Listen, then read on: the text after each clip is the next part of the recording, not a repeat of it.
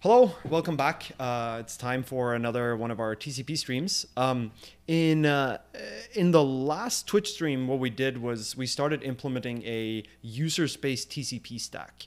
Um, not really for sort of performance reasons or anything, even though that is often why people do that, but more because it would be we figured it would be interesting to implement sort of a lower level protocol, like look at like technical specs and protocol definitions. So we were doing basically implementing um, RS, RFC 793, which is the TCP uh, RFC and various other related RFCs. Um, we're doing that using uh, TUN-TAP interfaces. So TUN-TAP interfaces are basically a way to um, have the kernel give a user space process access to raw packets. Uh, and so this lets us uh, interact with our implementation as though it was running in sort of its own kernel somewhere. Um, I'm not going to reiterate all of the stuff from the first stream in this one. So I sort of assume that. Um, I sort of assume that we that, that you've watched part one before this one, so I'm gonna put a link somewhere uh, to part one. So you should go watch that if you haven't already. Uh, this video will also be uploaded to YouTube as always, so you can always watch this later. Um, before we get started on sort of continue our implementation, there are a couple of housekeeping things I want to deal with. Uh, so the first one is that this will probably be the last stream for a little while. Um, I have a pretty major deadline coming up towards the end of April. So next stream probably won't be until May. Um, it's a little unfortunate, but but sadly life gets in the way. Um, the oh really they inject ads into the stream. That's awful. Um, and number two, I feel like we've been running this for long enough now that it seems appropriate that we try to find a name for this thing. Um, it's sort of easier to just call it Rust live coding streams, but we do some other stuff too, like the video on uh, the how and why of futures, for example. And I think it would be good to have some umbrella term for what this stream is. Uh, so I'm gonna I'm gonna sort of give a a yak shaving project to the chat over the course of the stream to try to figure out a good name for what the stream should be referred to as. Um, I might even go as far as sort of to create a separate Twitter account or something that you could follow just for updates from the stream. We'll see exactly how that works out, um, but some kind of name would be useful. Uh, and there's a third thing that's kind of stupid. I decided to buy new wheels for my chair, and I discovered that uh, the my floor is not level. So every now and again, I'll just sort of roll away. And so uh, if you see me moving uh, weirdly, then that's why. Um, okay, so with that housekeeping out of the way, um, are there any questions from the first stream before we get started on this? Anything that was unclear that you sort of want to know how works, um, just so we all start out without having burning questions from the very beginning? Uh, I'll give chat a little while just to see if there's anything you want to recap before we start.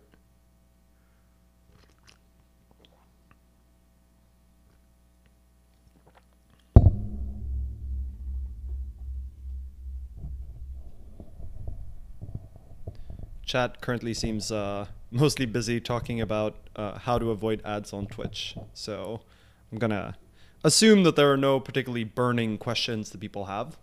Um, and if you do, then uh, just sort of ping me as we go.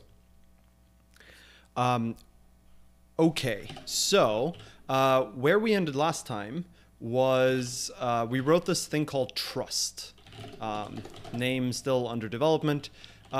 And we basically just wrote a main function that runs the core TCP protocol. Um, so main will basically just read packets in from the virtual interface that we create. So it creates a virtual interface. Uh, it reads packets in from it um, and sort of keeps track of various connection state and then calls um, into the um, uh, the TCP implementation we have, the TCP stack, for the state that we're currently at, it gives the packet that it received. Um, and that's basically all we have so far. For the TCP stack, we have support for setting up and tearing down the connection, um, but we do not have any support for data yet. Um, I still vote for Thunder as the name. Thunder is pretty cool. I agree. Um, yeah, so we have support basically for establishing and then tearing down a connection, but nothing in between. The other thing that's uh, uh, actually worth pointing out is following the previous stream, there were a bunch of comments on uh, uh, on the YouTube um, uh, on the YouTube video for the first part where someone pointed out that actually when the RFC talks about sequence numbers being between two different things, there's a well-defined way in which that operation works. And specifically, instead of this whole business that we computed and drew out, um, it turns out what you're actually supposed to do is just check whether one minus the other is more than half of the number space. And this is sort of apparently so well understood that it's not even in the RFC, which is kind of stupid, but such is life. Um, so this has been changed. Let me. Uh, oh.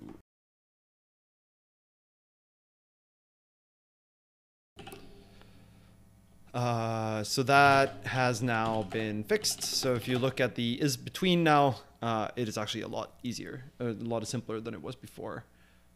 Uh, yeah, for raw packages, I would, if you're wondering how to do that, I would watch the first stream first. Um, okay, so the question is where we go with this particular stream. Um, this might be a little bit shorter than the normal streams, but we'll see how that works out. Um, I think what we're going to do in this one is the next thing we sort of need to support is being able to send and receive data because currently all you can do is set up the connection and tear it down, which isn't particularly helpful. So I think we actually need to set up what is effectively a, an API uh, for being able to send things and receive packets. Um, and we're probably going to model it mostly on uh, what is in the standard library already. So we're going to end up with something sort of like um, standard net TCP stream and standard net uh, TCP listener. Uh, instead of this, currently we just have this main function, which doesn't really have a good way for you to read or write data. Uh, and so how about we just get started with that? Um, I think we're gonna start a new file here, something like, let's call it librs for now. Have you tried BPF? Uh, BPF is not really for this particular thing. Uh, there are Rust bindings for BPF, I think. Um, okay, so we sort of want something along the lines of TCP stream, and we want something along the lines of TCP listener, right? Um, this is the types of the TCP uh, that TCP provides us. That the standard library TCP implementation provides us with. Um, and ideally, we want to support the standard interfaces as much as we can. Um, so specifically, we sort of want to do uh, impl read for TCP stream. Uh, we want to impl write for TCP stream. Um, and on TCP listener, uh, we want something like a pub, I guess these are going to be pub. Um, we want something like an accept that takes a mute self and returns a TCP stream. Probably an IO result TCP stream. Um, so like something along these lines. Uh, and of course read um, to get the signature for read. Read is this. Uh, so this is an IO result. And uh, write is this. So write, we're going to need something along these lines. So I think our goal for today is basically to find a way to fill out these. Now, we might not actually be able to get um, read and write to fully work because that's a bunch of internal protocol stuff like congestion control. But we at least want to figure out how to wire this interface into the implementation we already have. Um, if you remember from last time, um, a listener, a TCP listener, doesn't really do all that much, except that, um, actually, I should put up my paint program here. Um, let's see here. So uh, let's do That's Uh, let's do somewhere around like here. So um, if you recall, the the way TCP works is you have sort of a client and a server, although TCP doesn't really call them this. Um, but you sort of have a client and a server. Think of the server as the thing that is listening.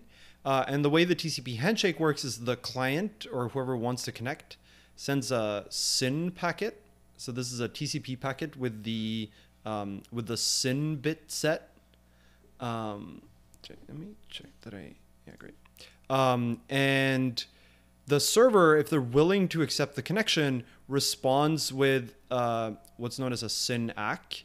So this is a packet that has both the SYN flag and the ACK flag set.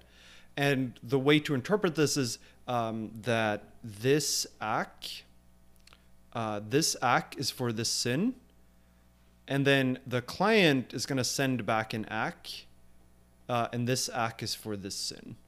So this is saying I got your SYN and I'm I want to connect back to you and this ACK is for the SYN. So this this is known as the three-way uh, let's see if I can do I don't know if that's easier to read. Probably not. Um, the three-way handshake in TCP.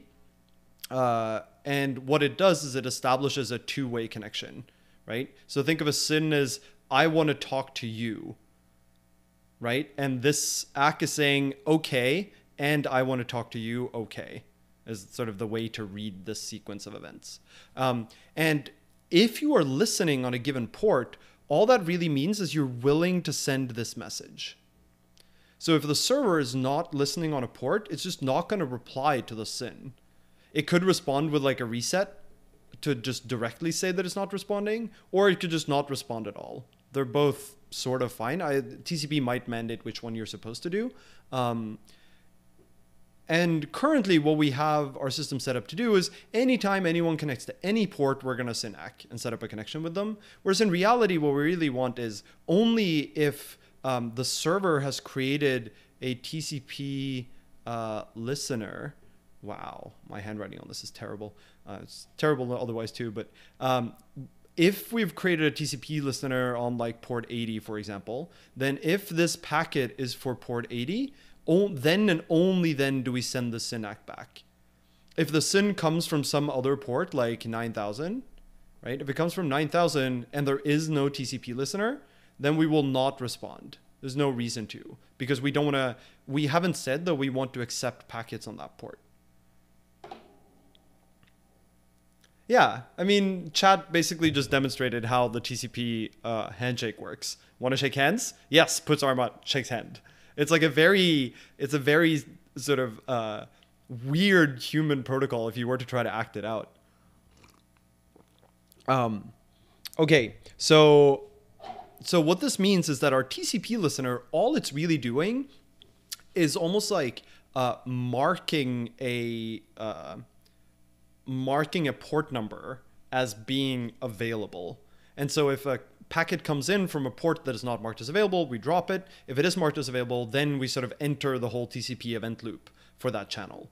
Um, and so the TCP listener actually does pre not that not doesn't do all that much. The TCP stream, on the other hand, is basically the thing that contains all of the state associated with this connection. So once this SYN ACK business has been set up, there's a bunch of state you're keeping, like uh, sequence numbers and ACK numbers um, and window sizes and all of this business all of that from both sides is going to be incorporated into the the TCP stream.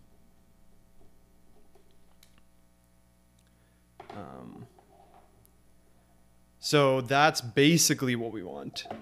Um, and so let's see how that would actually look in code. Um, so if you remember from our main, we have this uh, connections map that is a, a map from um, that is a map from a quad. So a quad identifies a particular connection to a TCP connection. Uh, and if you look down here, um, what we did down here was if the entry is vacant, so if we get a um, if we get a TCP packet for uh, for a quad that we don't know about, then we just immediately call accept. We sort of want to change this, right? Like we want to change this to be uh, if it's vacant, so if there's no current connection, and we've said that we're willing to create a connection. Um, and so we're probably going to want most of this. The other thing that's a little weird here is um, the the tunnel we have is basically single threaded, right? Whereas we sort of want the user to be able to create multiple different connections all over the place. Um, and so we might need to have this be um, almost like a, uh, almost like a sort of a main event loop that runs on one thread, and all of the TCP listeners and streams are going to interact with that thread. That might end up costing us a little bit in terms of performance, but it might be a good way to model the system, um, at least initially. So, uh, for that to work, um, what we will probably need is we'll need something like a pub struct endpoint. Or endpoint might be a bad name for this, but um, uh, interface maybe. Or network. Let's call it interface for now. Um, so the idea would be that an interface is um, a thing that can receive packets and it sort of holds all the connection state information for all the currently open connections. Um, and so if you want a TCP listener, you have to call listen on the interface, and that will give you uh, the corresponding TCP listener object. Um, and so the way to think about this is something along the lines of this. Uh, ooh, that's also a good question, what the types of these are. Actually, let's not put those in just yet. Um, so we're gonna have something like impl probably default for interface.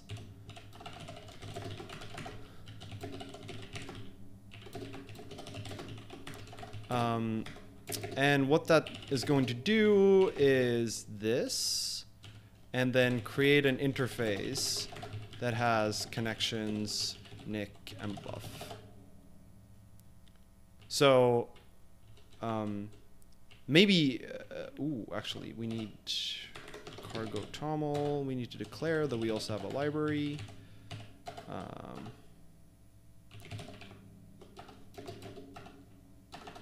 trust. And we also have a bin.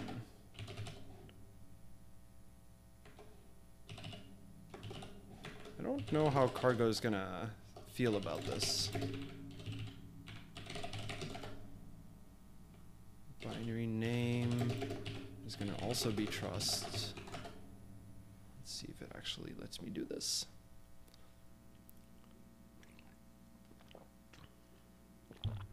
Um, oh, sure. These are, for the time being, unimplemented.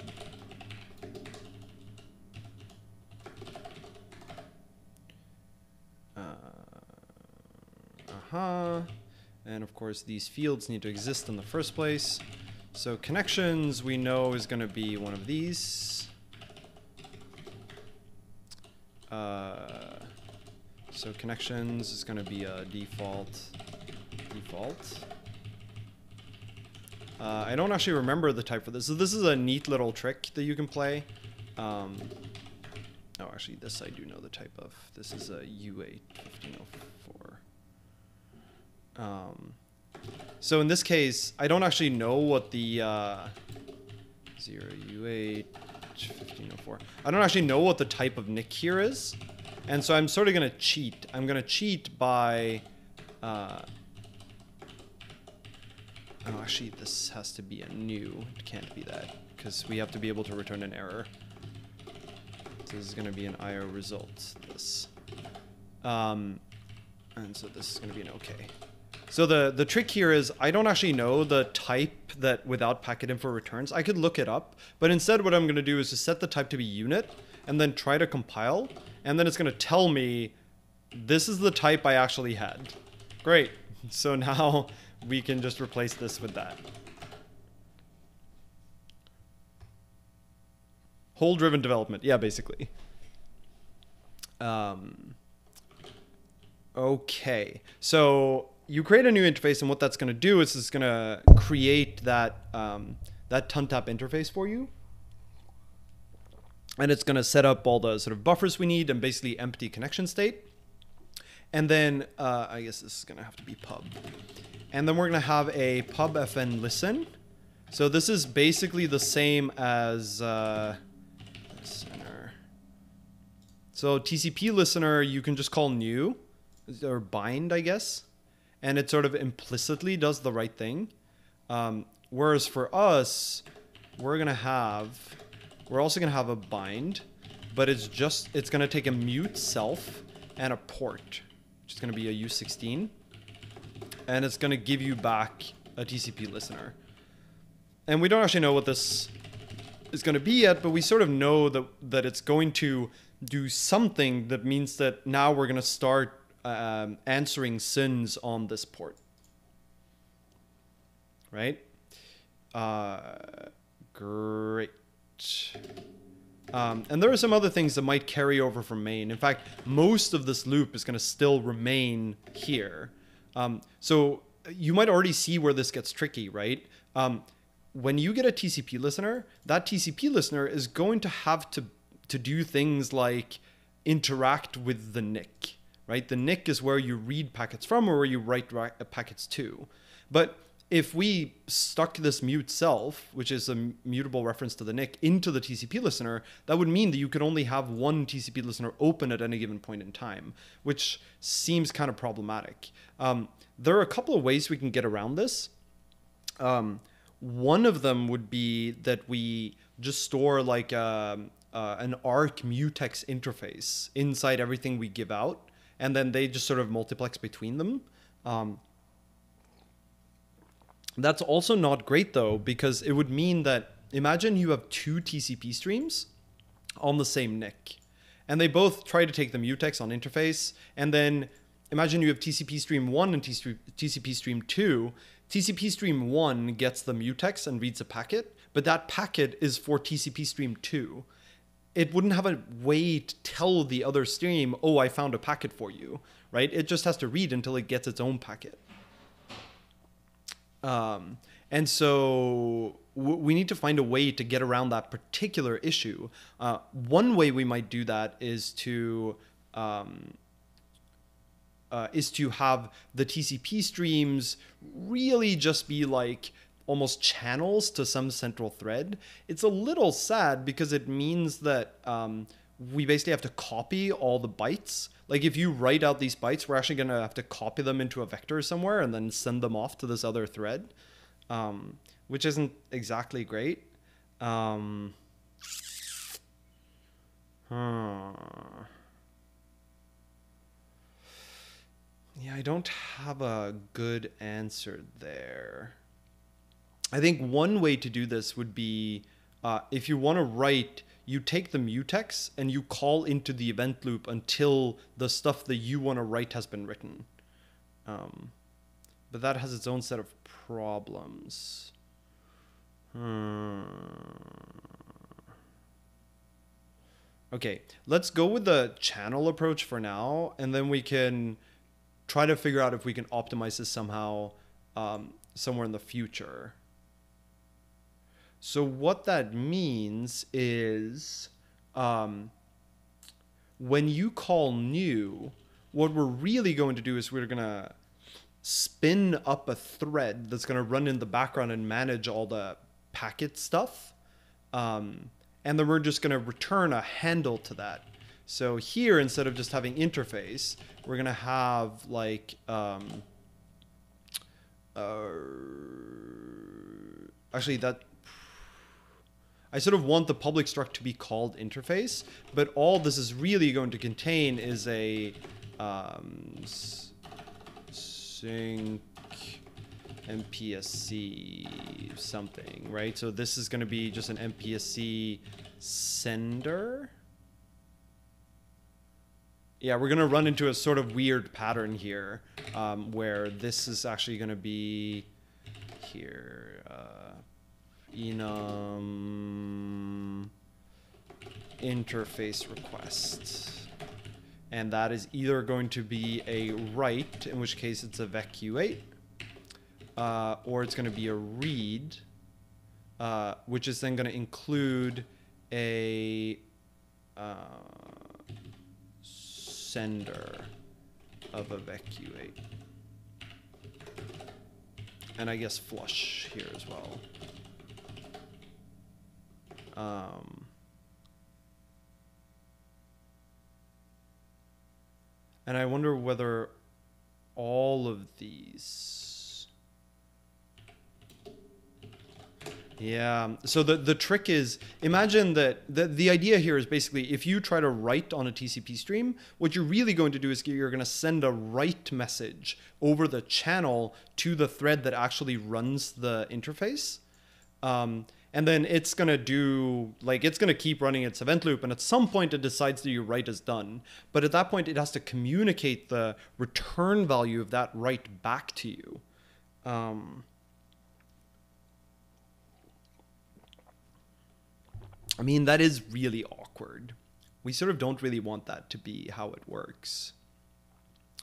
Um, because w- what that would imply is that the writer if you do a write call you also include like a channel that the server is going to respond to you on. I guess we could do that. It just uh, it feels a little awkward. Um, hmm The other reason this is unfortunate is just like it adds a lot of overhead to reads and writes, and I feel like we could do better. But um, let's stick with it for now, and then we can always um, improve it later. So all of these are going to have a channel to sort of. Actually, this is going to be a size. So this is going to be how many bytes were written. This is going to return all the bytes read. And in fact, this is also going to have to include a size, which is the capacity of the buffer, so that we don't try to read more bytes than we can. And it's going to send back at most that many bytes. Um, okay, so interface then is really just a, a thing that can send those requests to the interface main event loop. And this, I guess, is going to be, what are we going to call this? It's not going to be public. It's going to be the uh, connection manager. Yeah. Um, and so at that point, the C, we're gonna, when you do new, we're gonna create one of these connection managers. Uh, then we're gonna do a thread spawn.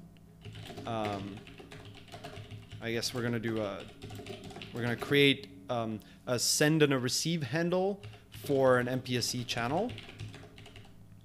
Uh, we're going to move the receiving end into that thread. Um, and that's going to be uh, cm.run on rx.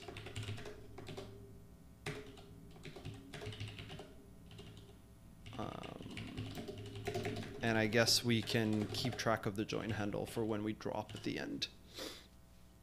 And then this is going to return then an interface um, let's make this a little nicer for ourselves. That has a transmit handle for where you send the requests, and also a join handle um, that's gonna let you uh, that's gonna let you join with the connection manager when you want it to exit at the end. It's gonna be a join handle, and I don't know what that type is yet, so it's gonna be a hole. Um, so this now is gonna have RX, uh, TX, and join handle. Does the basic pattern here make sense? Like the rough setup for what we're trying to do? Uh, and I guess we have to do bind as well. Bind. Uh, there's also have to be unbind. And bind is also going to have to take one of these and a port. So I guess we can make these um, a little bit more helpful for ourselves. Specifically, a write is going to be, this is going to be the bytes, and this is going to be the ACK channel. So this is not a TCP ACK, but like a an ACK in the sense of I have completed your write. Um, a flush just has an ACK field. Bind has a port and an ACK. Unbind. Uh, so unbind is what we have to do when you drop a TCP listener, right? When you drop a TCP listener, um, we have to make sure that we're no longer bound to that port. But there, we don't actually have to wait for the unbind to finish. We can probably just unbind sort of asynchronously. That's not really a problem. Uh, and a read is max length uh, and uh,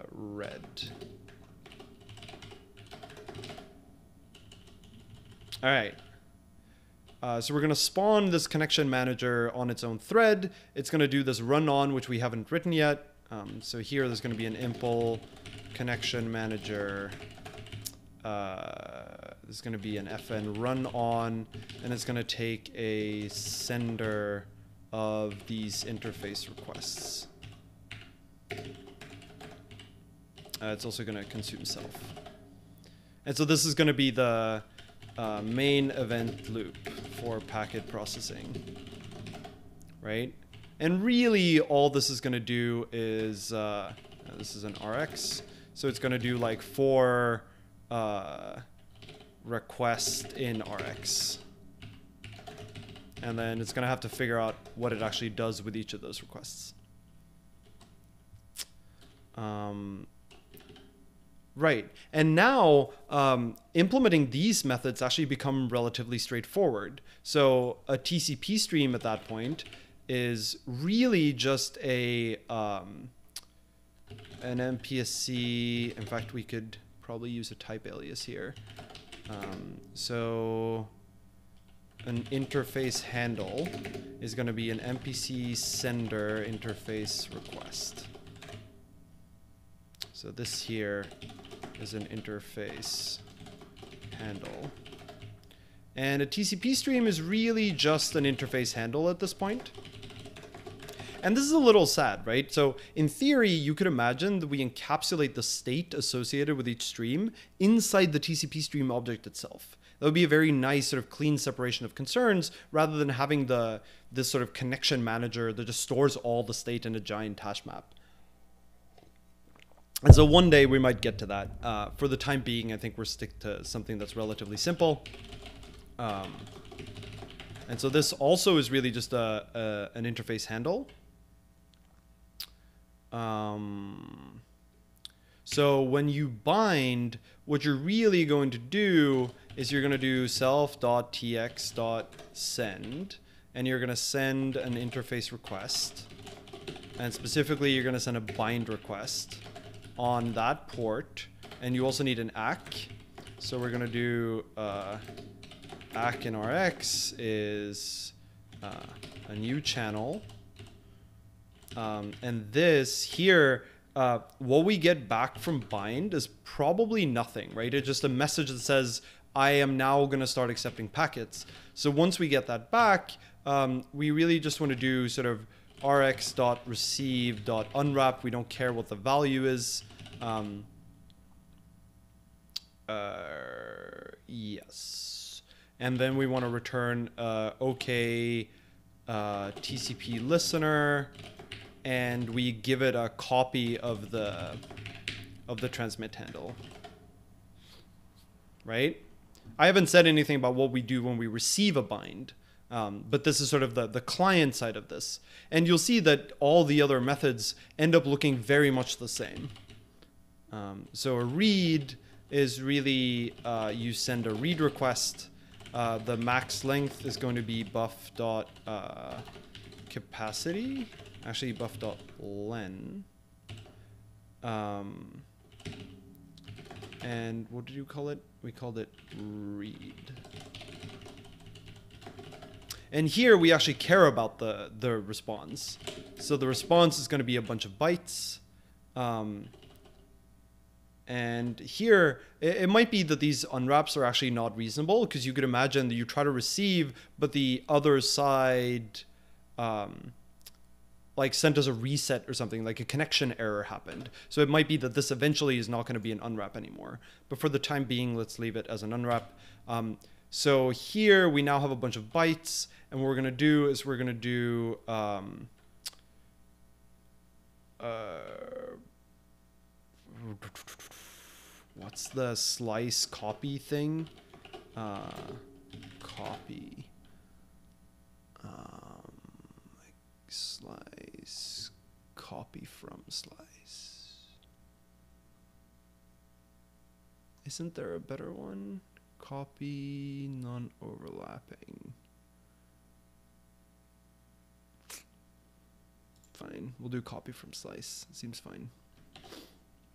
Um, so crucially, we're gonna do uh, dot copy from slice um, bytes.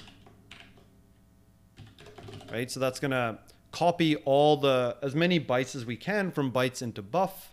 Um, does that return something? No.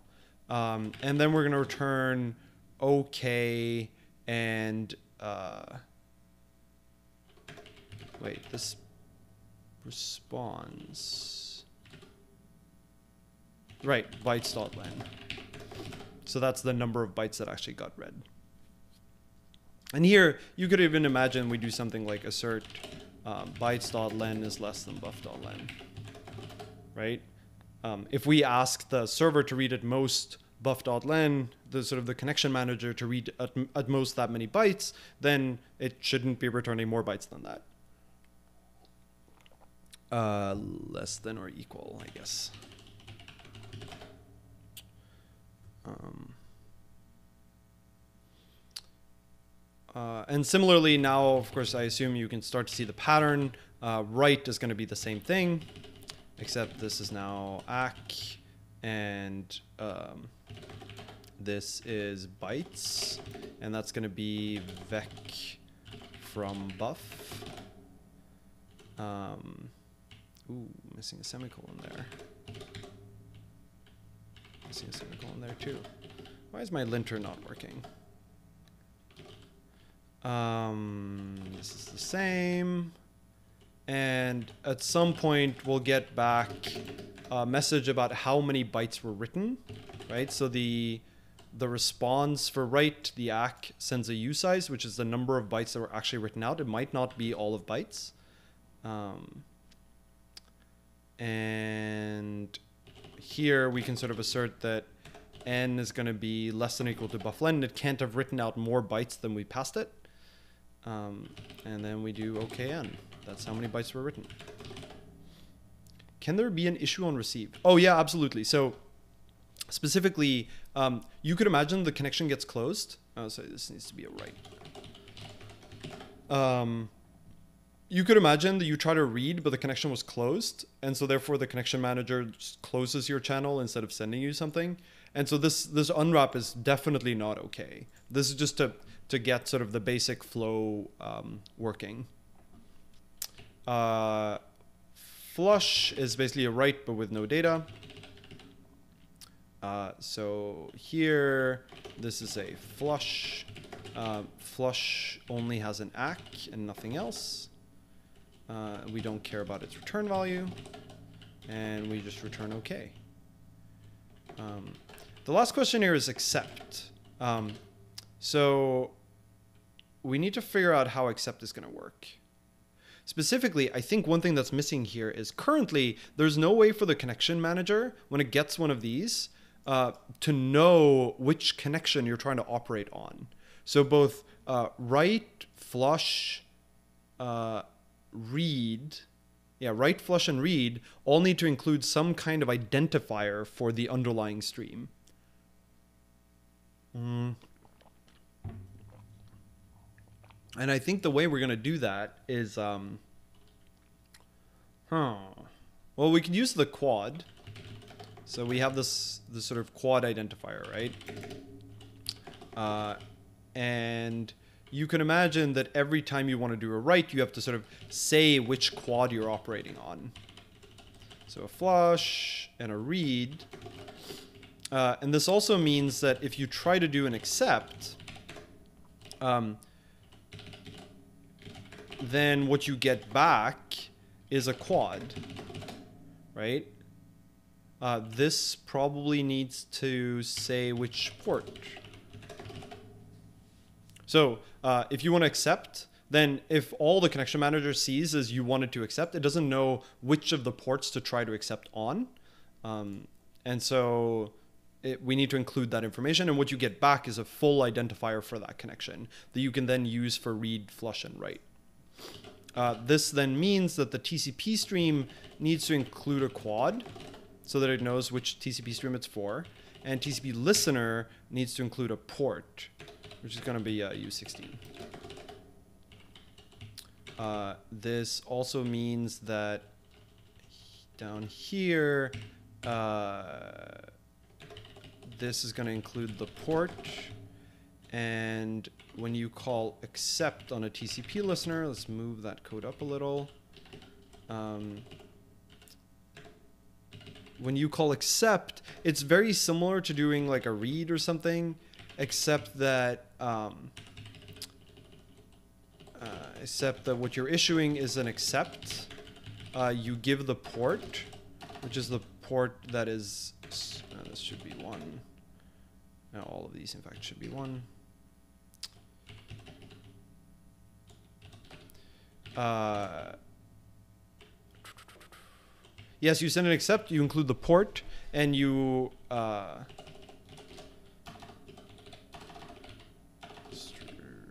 I guess ACK. Um, and what you get back when you read from that channel uh, is you get back a quad that identifies the stream that was accepted. And then you return a uh, TCP stream that's going to be that quad and a clone of the um, interface handle so that it itself can send more requests. Uh, and of course this, whenever you send something, you have to include the quad. So the way this API is currently structured is like definitely not high performance, right? We're we're copying all the writes when you're doing a read or a write. We're like allocating an extra buffer, copying between them. Uh, we have to do all these like interface sends, uh, these uh, uh, channel sends and receives every time you want to. In fact, two of them, right? One to send the request and one to send the response. Um, every time you want to do any operation. Um, we have to like include this quad with every operation we do. So there's definitely a bunch of overheads here that we might one might hope that we could eventually get rid of. But notice that the external API doesn't actually reflect any of that, right? The internal API is just there is an interface, right? You have to create one. Um, and once you have an interface, you can bind, you get a TCP listener. You don't get to look at the fields inside the TCP listener. All you know is you have one of these. It has an accept method that returns a TCP stream, and TCP stream implements read and write. So the internal, the external interface is still what we would have almost no matter what the internals were like. Um, and so we can always later optimize this to get away from this single event loop. Um, all right, so the question now becomes, what do we do in the main loop of the connection manager? Well, uh, we basically have to do what we did in main, right? We need to look for packets and such. Um, and I think specifically what we have to do is um, we sort of need to we're going to have the, this this sort of main event loop is going to have to deal with a bunch of different things specifically it's going to have to deal with uh, packets coming in over the network requests coming in over the interface. So these are like interface requests, the ones we just wrote. Uh, and it's going to have to deal with timers firing. Uh, and so all of that is going to be sort of stuff that it has to look at. Um, it would be kind of cool to do this in async. Because like async is just perfectly suited for this. Um, let's think about that for a second, whether that is worthwhile. Um, it really depends on whether a tun tap is async. Because if it's not, it's not going to be worth it. Ooh, async. Ooh. Ooh. So it does support async. That's pretty cool. Asynchronous interface is very minimal and probably inefficient. It's kind of tempting, not gonna lie. So the reason I think it's tempting is because um, we're basically writing an event loop here that needs to wait on multiple different types of things, and doing that in async is just a lot easier. Um, but if there's something like a try receive, there is not. Hmm. So the the problem we're going to run into is um, imagine that you sort of there are no current requests coming from the user and so you so you have to try to read from the network to see if anything is happening there if you don't have a try receive then you're going to do a receive and then it's going to block until there's another packet but that could block for forever. It might be the other side doesn't send any packets. Um, and now there might be a bunch of requests building up on the sender that you're not going to get to because you're still blocked on reading the next packet, which is problematic, right? Um, hmm. So the real way to do this, oh, I was sort of hoping I wouldn't have to do that.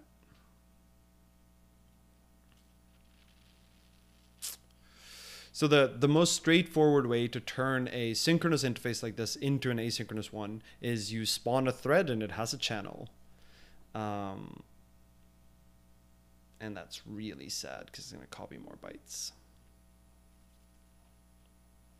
So the, okay, so here, let me try to draw this. It might be easier. So the situation we're running into is as follows. Um,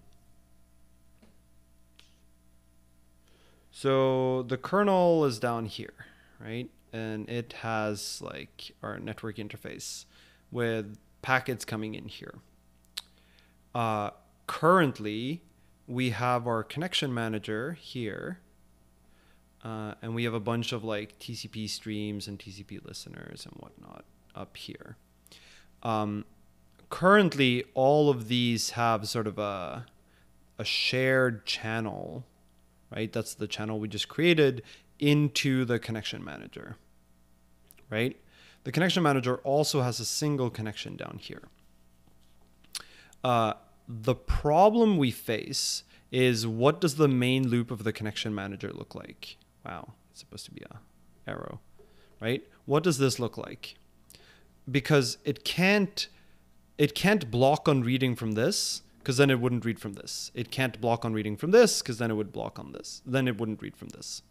So one way in which this can uh, we can sort of fix this is that we introduce a separate thread over here and it's going to have that connection so we're not going to have this one it's going to be the the packet manager if you will the package manager has a channel to here. So um, to be clear, um, this is an MPSC. This is a tun tap, right? And in the in the orange world, um, this is a tun tap, and this is an MPSC.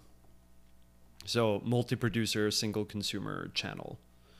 Um, the reason this is uh, the reason this works is because on channels, um, well, on the standard library channels, you can't do what's known as a select, so you can't arbitrarily select between the two, but at least you can do like a try receive on this one, and you can do a try receive on this one, right? And so that way you can essentially multiplex between them. Um, probably what we want is to use uh, crossbeam channel, which is a really cool crate that that may or may not end up in the standard library because it has this thing called a select. So select lets you say uh, you can sort of select between channel one and channel two, and this will block until either of them returns, right? And that fits really well into this model. We're just going to select between these two, and whichever return first we handle. And in fact, we could do this with a timeout, uh, and that lets us also deal with timers firing. Um, the way in which this is inefficient, though, is imagine you're trying to do a read. So the read is going to progress as follows. Um, let's say that this guy wants to do a read. Okay, so they send a read request to here, to the connection manager. The connection manager um, doesn't currently have any data, um, but at some point, or some bytes come in here right? So this reads some bytes. So this now has like a bunch of bytes in a buffer somewhere. It has to send it on. Yeah, yeah, yeah selects are great. So Crossbeam Channel also has those selects. Um, the the package manager, the packet manager, um, now has to send this buffer to the connection manager. But this is on the stack, right? The bytes we read here are on the stack. So it needs to actually copy them over here.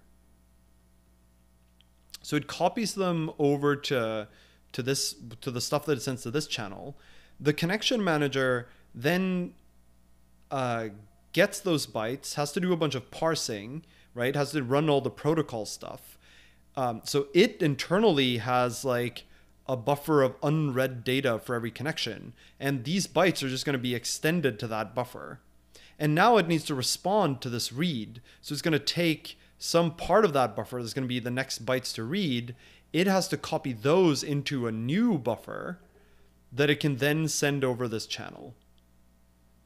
Right? So notice how many extra both uh, channel sends and memory copies and allocations we end up doing in the scheme.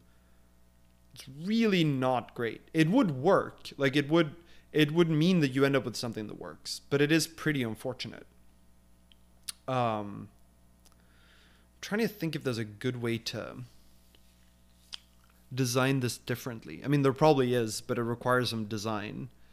Um, so ultimately, what would have been the the sort of best possible design if we could figure out how to do it? Uh, let's do. What color do I want? I want that color. Um, okay, so let's uh, let's start another sort of hypothetical design somewhere over here. Uh, so we're gonna have a channel. Sorry, we're gonna have the kernel. This has to the network interface. Uh, we will still have a bunch of TCP streams uh, that logically sort of get they get sort of multiplexed over this one connection, this one network interface, right? That's sort of the core of our problem is that these have to collectively drive the network interface forward. Um, and each one has a bunch of connection state.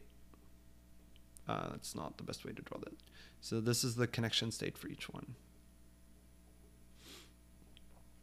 Uh, if we want to um, yeah, so each of them has their own private um, private state that's things like the sequence number and the ACK number and the window size and whatnot. So each of them has one of those. Um, and now imagine that you're trying to do a read from here. So this guy trying to read if this reads, it's going to have to ultimately like look at this channel. We have to somehow get data from this to this. The problem is there's a bunch of packets here, right? Like who knows what kind of packets you're going to get from this interface. And like this might be for this one, this might be for this one, this might be for this one. And this maybe like this one is actually the one that goes here to to the one that tries to read. And you still need to decide what you're doing with all the intervening packets. Um, you sort of want to process them, right? You you can't drop them, or you could drop them, but that seems that's really inefficient. Um, you can sort of stash them for later, so you could keep sort of a, a queue. So imagine that this takes a lock, right? Imagine like there's a giant lock that's like protecting all of this. Um, lock. Uh, then there could be a giant queue where any packet that you encounter that's not for you, you stick it into that queue. And so on, and so when you get to yours, then you process that one, and any subsequent thing that comes into to look for stuff is going to first go through the queue and see if it finds things that's for it. Um, so the question is, isn't what you're describing basically network specific work stealing? Um, it's well, not quite. So the re- the way in which it's different is that here, um, it's not as though we have multiple network connections. Um, we actually be- we have a single. So logically, we have a single incoming network connection. Usually, when you have work stealing, because the kernel the kernel gives you this impression that you actually have multiple separate streams, right? It doesn't expose a single network interface to your application. You think that you have multiple sort of separate streams.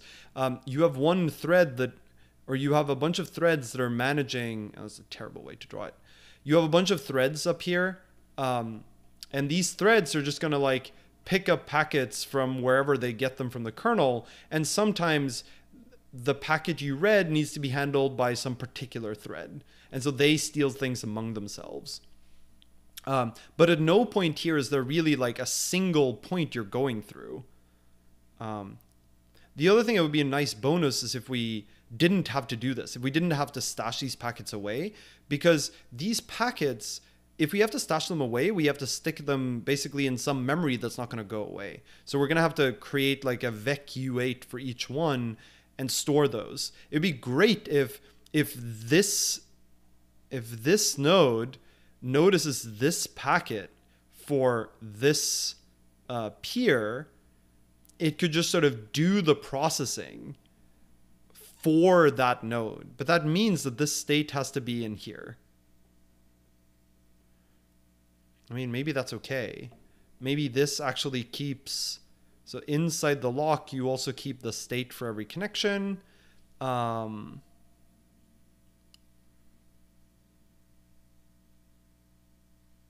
it still means that any bytes you read here, you're going to have to stash for later. Because um, if uh, if let's see, okay, so let's call this the red, the red connection, and this packet is for the red connection, and let's call this the uh, uh, yellow. This is the yellow connection and this packet is for the yellow connection. So the red connection is going to end up seeing the yellow packet before it sees the red packet. Um, and um, and the problem is the memory in yellow. Ideally, we would just sort of give to yellow so that so that we don't have to copy the bytes anywhere. But maybe that's not that important. Why not have node specific inboxes that you can stitch memory into? Stick memory into? Um, yeah, so that's basically the proposal here is that we have a sort of queue of things that we haven't processed yet. Uh, maybe instead what we should do, I should not have painted that yellow. Uh, dark blue. Dark blue Which is a terrible color to read in this. Pink. Um, so maybe what we should do instead is keep all the state for every connection in this sort of one map. So the inside the lock you have all the connection state and so like we would have we would end up with like a red connection state and a yellow connection state uh, and whatever other connection states we have. And this would be sort of all of the bytes that have been read that we have gotten packets for on red, but that red has not read itself. And similarly with yellow. Okay, so maybe that's a better design. That any time. Okay, so the, the problem with this is uh, imagine that red tries to read and it just doesn't get any packets for itself, right? So this uh, this is why I didn't do this in the first place. Um, so red is trying to read, so red takes the lock. At this point, when red has the lock, it starts to walk through these packets, right? Imagine that there is no red packet here. There's no red packet.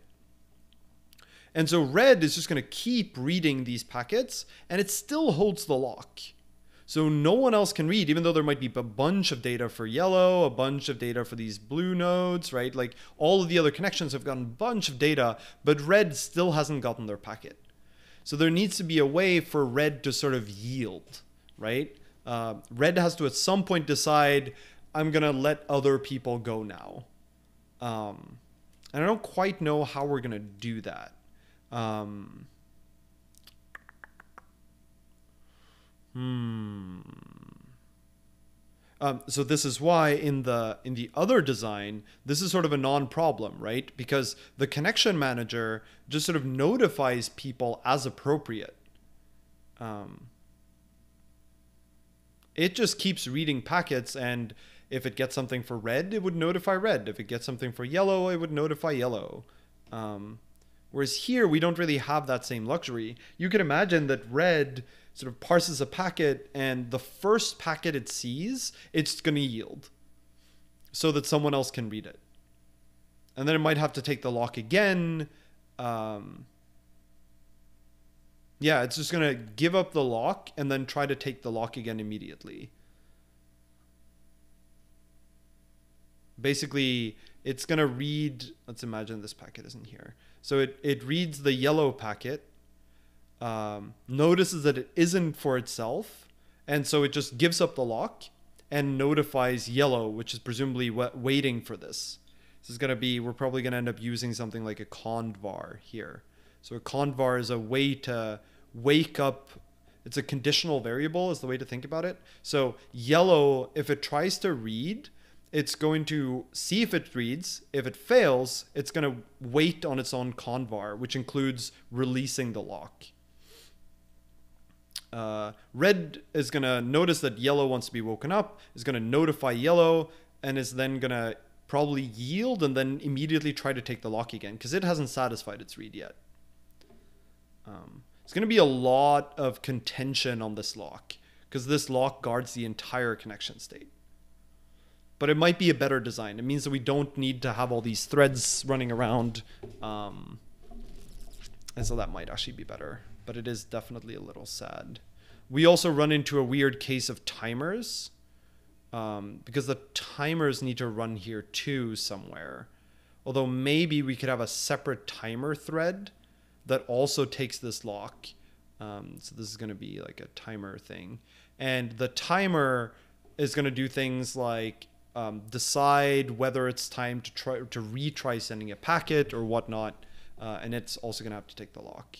And all of this, remember, is an artifact of the fact that we only have one underlying connection. And you can think of this as internally inside of the kernel, right? It's pretending that it has all these channels right? So every if you do normal network programming, you just have separate TCP streams and you don't really think about the fact that they're connected somehow. But really sort of under under the kernel, there really is just a single network interface. It's like one ethernet port or one Wi-Fi card. And somehow all of these have to be funneled through that one interface and the kernel takes care of that and it takes care of that without you really seeing what's going on and you can imagine that the kernel has to do something sort of similar to this they might not use a lock. They might there might be some like smart lock free data structure you can use here so that you don't have to take this lock. Um, the kernel can sort of always have some threads running that don't need to context switch but but this is like a, a fundamental problem that we now have to solve in user space. Uh, color a read packets until another one. B comes up and then b reads pa- its packets until yeah so the basic idea here is going to be um, you only ever read one packet at a time. So red reads a packet, and we, we could make it more than one, maybe. Er, this still becomes problematic. Okay, so the, the idea was um, red reads one packet, and if that packet is for red, all good, we might be done. Um, if it's not for red, it's going to notify whichever thing it was for. Um, and then it's going to sort of wait for a little while, and then it's going to take the lock again. It's basically going to yield and then, then, then take the lock, which is some overhead, uh, but probably less overhead than all these channels, and certainly less sort of byte copying. Um, I just realized though that one other problem we run into here is the um, imagine that you're red and you try to read a packet uh, and that blocks because there are no packets. And the reason there are no packets is because we need to do a retry. Uh, and so therefore the timer has to fire but the timer needs to take the lock in order to send anything so but it can't take the lock because red is holding the lock blocking for a packet I think what this means is, um, yeah, I don't know how we do that. Um,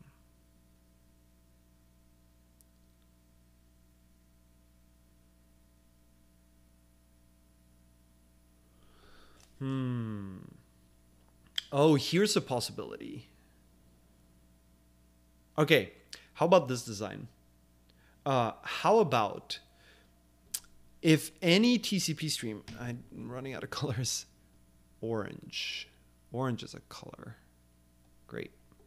Uh, anytime a TCP stream tries to access this, it is not allowed to try to read a packet.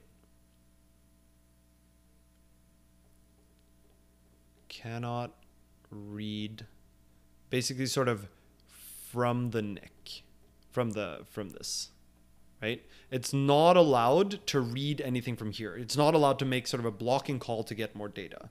Um, instead, if it sort of looks in its buffers or sticks some stuff in its buffers, and um, it will. Um, and if it fails to do that, if it can't actually read anything, then it's going to get one of these condvars, is going to wait on stuff being available in its slot, if you will. Right? Um, and then we're going to have one thread that's going to be running on the side. Um, and that thread is going to deal both with timers and it's going to be the thing that reads. So it is going to, in fact, it might even be the thing that just owns the. Ah, okay, here. How about this? So that this sort of severs the connection between here. We're going to have this thread own the NIC. And instead of having this be a channel, like we, this is sort of a merge between these two designs, we're going to have this thread that's going to be the thing that reads from the NIC. And whenever it gets a packet from the NIC, it is going to take this lock, do the processing, and put stuff in the appropriate place and wake threads up.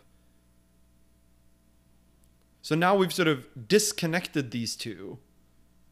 Um, uh, but the mutex basically lets us not have to copy all the data around.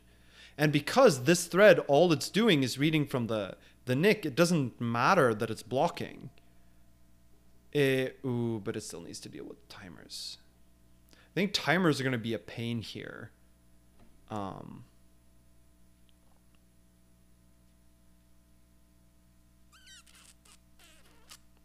but I kind of like this design. Uh, I think timers, the, the problem with timers is they have to do things with the NIC, right? They have to, they may have to send a packet or something, right? Um, but if this thread is blocked on trying to receive a packet, you can't, like, you can't do this, um, which is why this sort of needs a receive timeout function.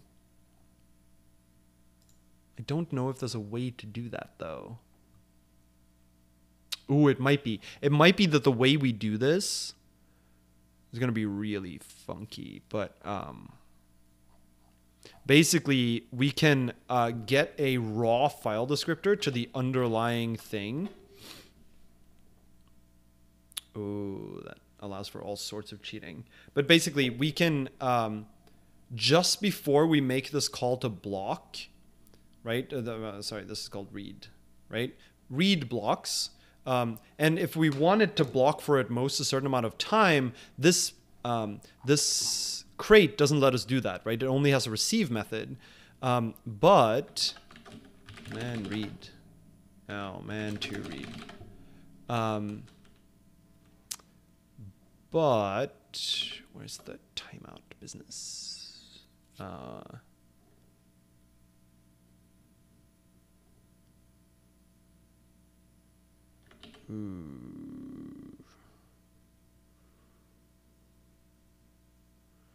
So there's a way to set uh, socket sock.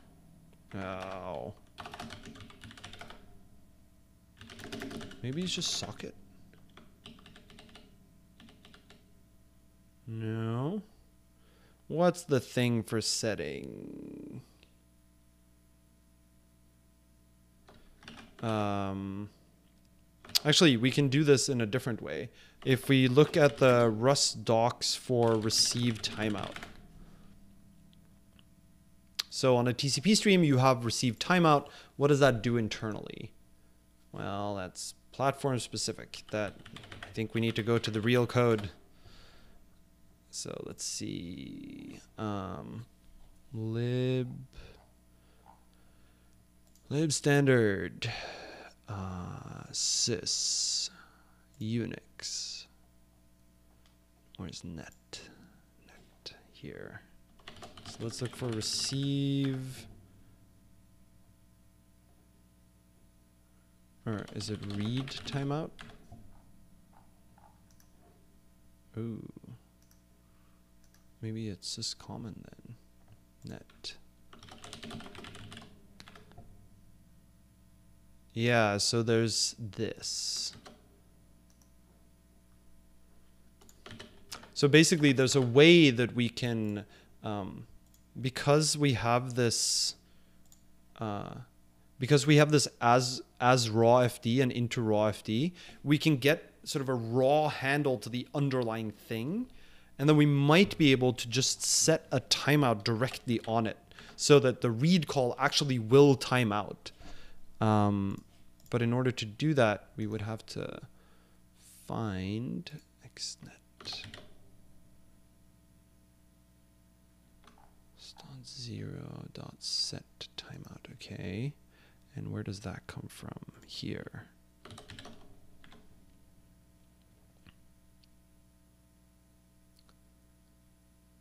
Set sock opt. Yeah. Right. So we can basically do the same thing that Rust internally does to set a timeout on a particular channel. Because all this is doing, all receive is doing, is really just calling read on the underlying file descriptor.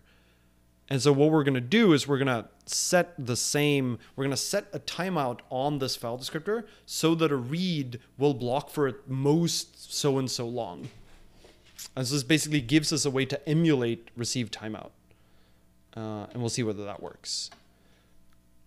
And so that would mean that um, when when this thread that manages sending and receiving packets does a read, it's actually going to do a read timeout uh, to that's going to be sort of um, at most the time until the next timer fires.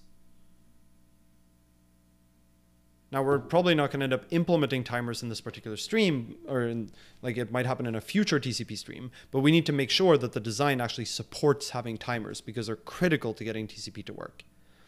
Okay, so I think what this now suggests is um, this is somewhat similar to the design we had before, uh, but with fewer threads and fewer channels.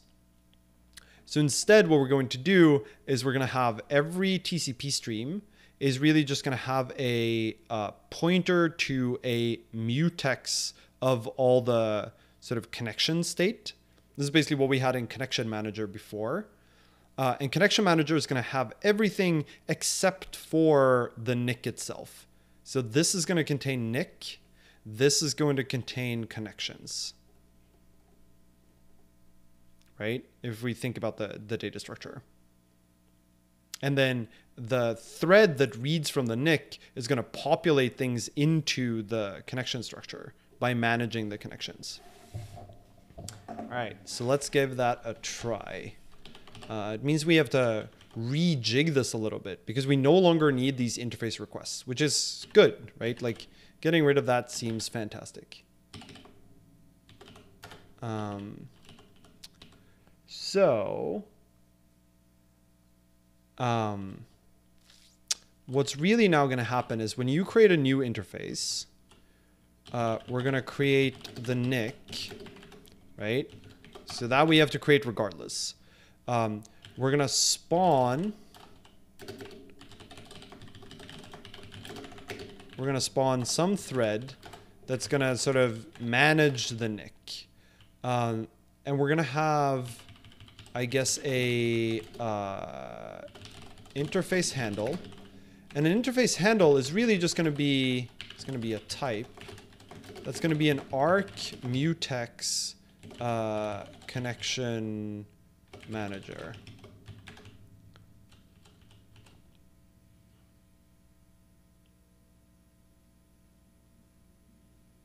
Uh, yes.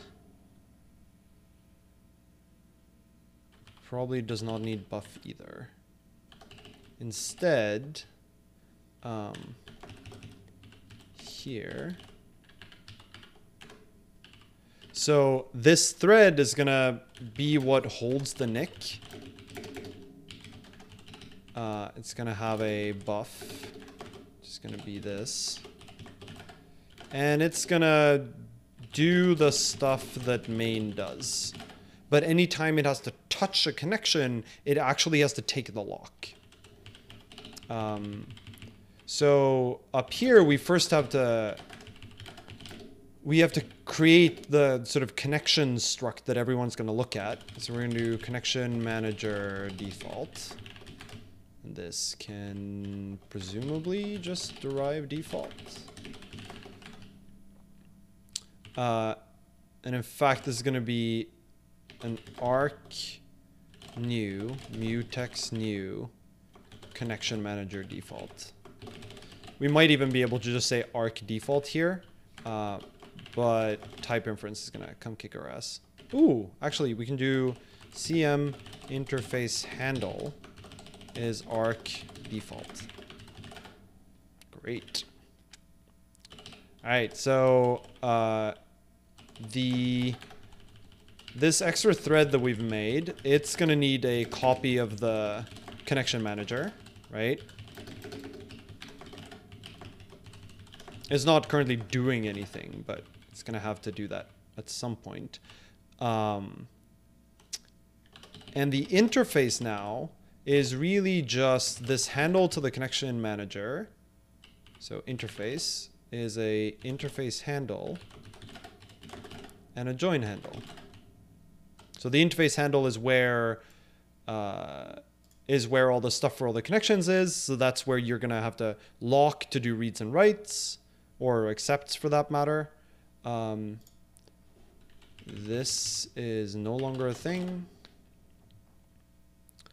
Bind now. So bind is really just going to do, um, it's going to do self dot interface handle dot lock and I guess unwrap, right? So it has to lock the interface. It has to then do uh, something to uh, start accepting SYN packets on the given port, right? So that's going to modify some data structure in CM that we haven't constructed yet. Um, and then it's going to drop CM. And then it's gonna return this. Right? So this is releasing the lock. Uh, and then it just returns the TCP listener with the port because it needs to be able to identify the connection later and the, um, the interface handle because it needs to be able to lock in order to accept packets. Uh, so that's TCP listener. So if it wants to accept, what does it do? Well, it has to take the lock. Um, it then has to see whether there are any sort of pending connections for its port. Um, so the way it's going to do that is, um, it might be we can do finer grained locking here, but let's ignore that for a second. So CM is definitely going to have something here like, um, like pending. It's going to be a hash map from port to to what?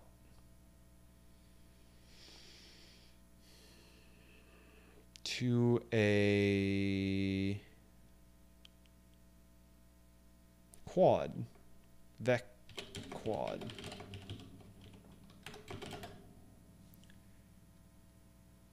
Yeah. So, uh, so pending here is a list of pending connections to this port, right? So if there are no pending connections, this vec is empty. If you are not listening, then uh, there will be no entry for that port. And so now we know what bind has to do.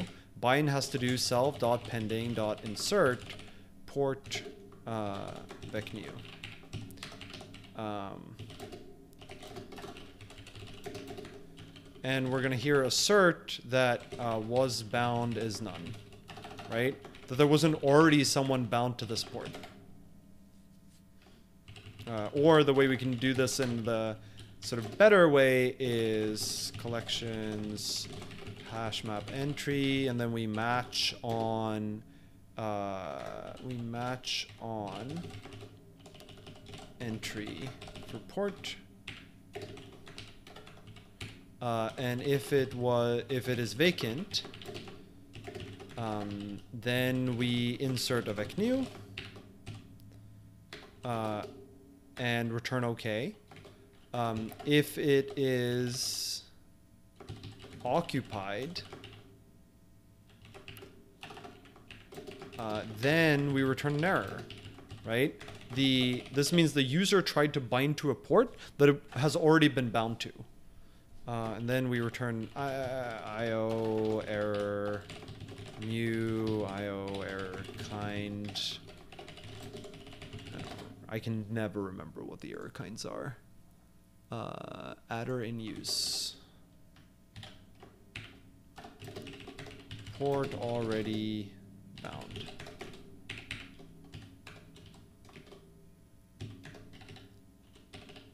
Uh, like so, and this should be CM. Does that make sense? So uh, for bind, we take the lock, uh, we add an entry to pending for our port to say that we're willing to accept connections. Uh, initially, it has no new connections.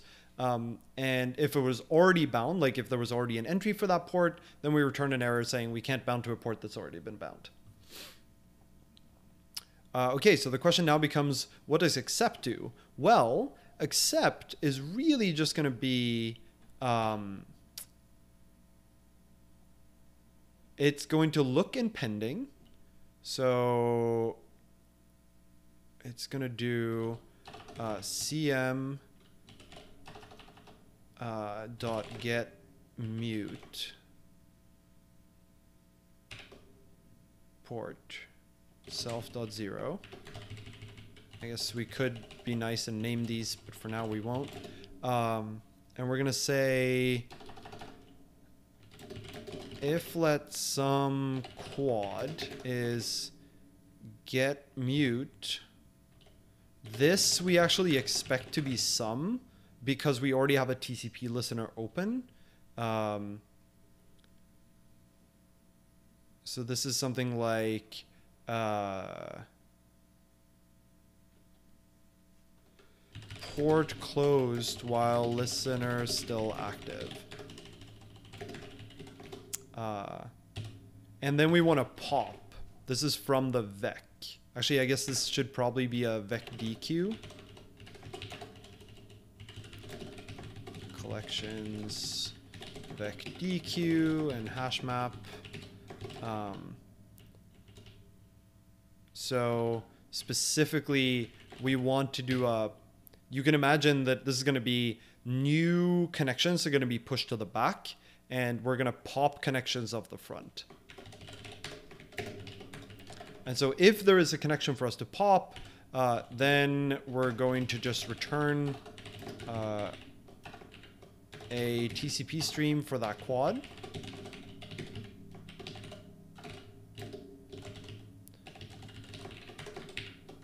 Uh, otherwise, we actually have to block, right?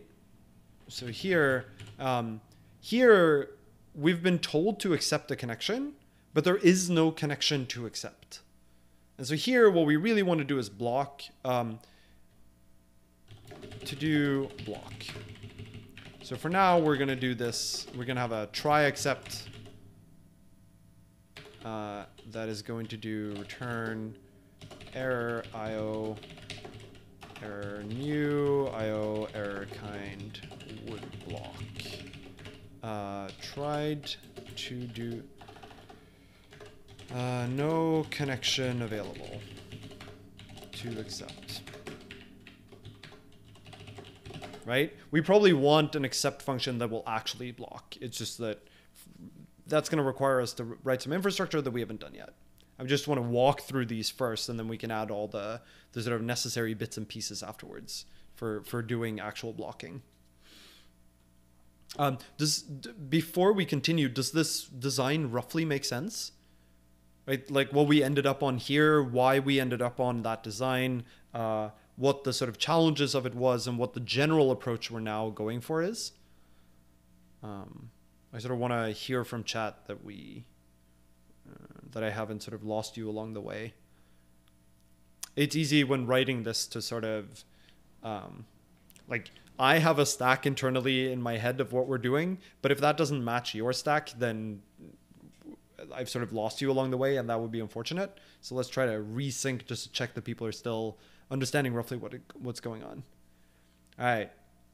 Sensei Clo Clo says yes, it does. Great. So we have one person on board. There are in theory uh, 51 people in chat. What do the other 50 people think? Or some subset of them?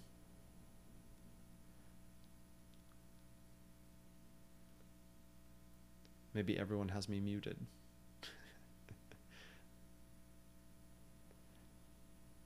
You're E too busy eating pizza. That sounds pretty great. I wish I was eating pizza. I'm going to assume that if you're eating pizza, you're understanding everything that's going on. Pizza clearly just like makes your mind aware, right? That's how pizza works. All right. Well, there doesn't seem to be any loud complaints.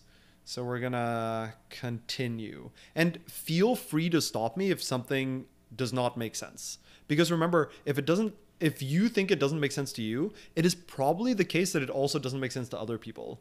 Like whatever questions you have in your head, we're enough people here that there are probably other people with those same questions. So please feel free to interrupt if you feel like something isn't uh, isn't adding up. Um, all right, so for reading, at this point, the pattern should start to become clear. Uh, we're going to lock. Um, then we're going to have to see whether there's data available for this connection. So here too, uh, the connection is going to be self dot no cm dot uh, connections. Actually, this is going to be cm dot pending. Uh, this is going to be cm dot connections dot get mute uh, self dot zero. This is going to be a reference, a reference. Uh, here too, we basically expect there to be a thing because we have a TCP stream, so the TCP stream should still be there. It might be that here you might get connection loss actually. So let's do an OK or. uh, else um, error new io error kind uh, not connected. Broken pipe? Uh, no i think it's broken pipe.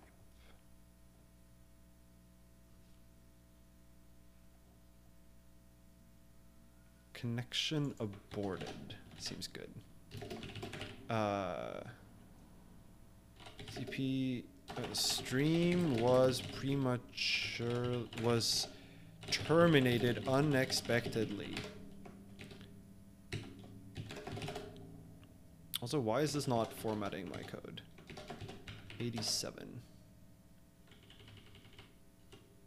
Uh, what? Oh. Great. Formatting. Nice. Okay, so uh, this here is the connection, right? So this is the connection manager. The connection is just getting access to the connection object for this particular connection. And now we want to do something similar to what we did for accept, which is uh, if um, if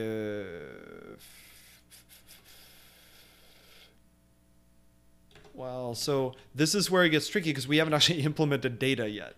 Um, but if you look at TCP connection, here there's just definitely going to be a like a receive buffer.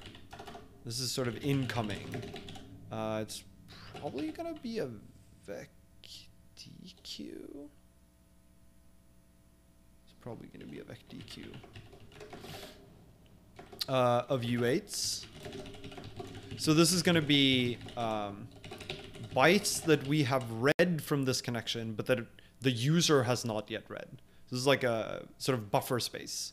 Um, there's also going to be an outgoing buffer. So this is bytes that the user has given us, but we have not been able, or that we have not been able to send yet. And that could be that we've sent it in a packet, but the other side hasn't acted yet. In fact, that's probably what it's going to be. This is going to be sort of unacked, I guess. Um, okay, so here, uh, what we really want to do is if uh, c dot incoming is empty, then uh, to do we're going to need to block, right? And we don't know how to do that yet. So for now, uh, no bytes to read. So here, really what we want to do is block. Um, if we get down here, though, it means that there is data there. And so what we're actually going to do is just read however much data we can up to the size of buff. Um, and so here I'm going to have to look up VecDeque. VecDeque. So there's a, oh, I want, it's never the expansion, I want this. Um, there is a as slices. That's what I want.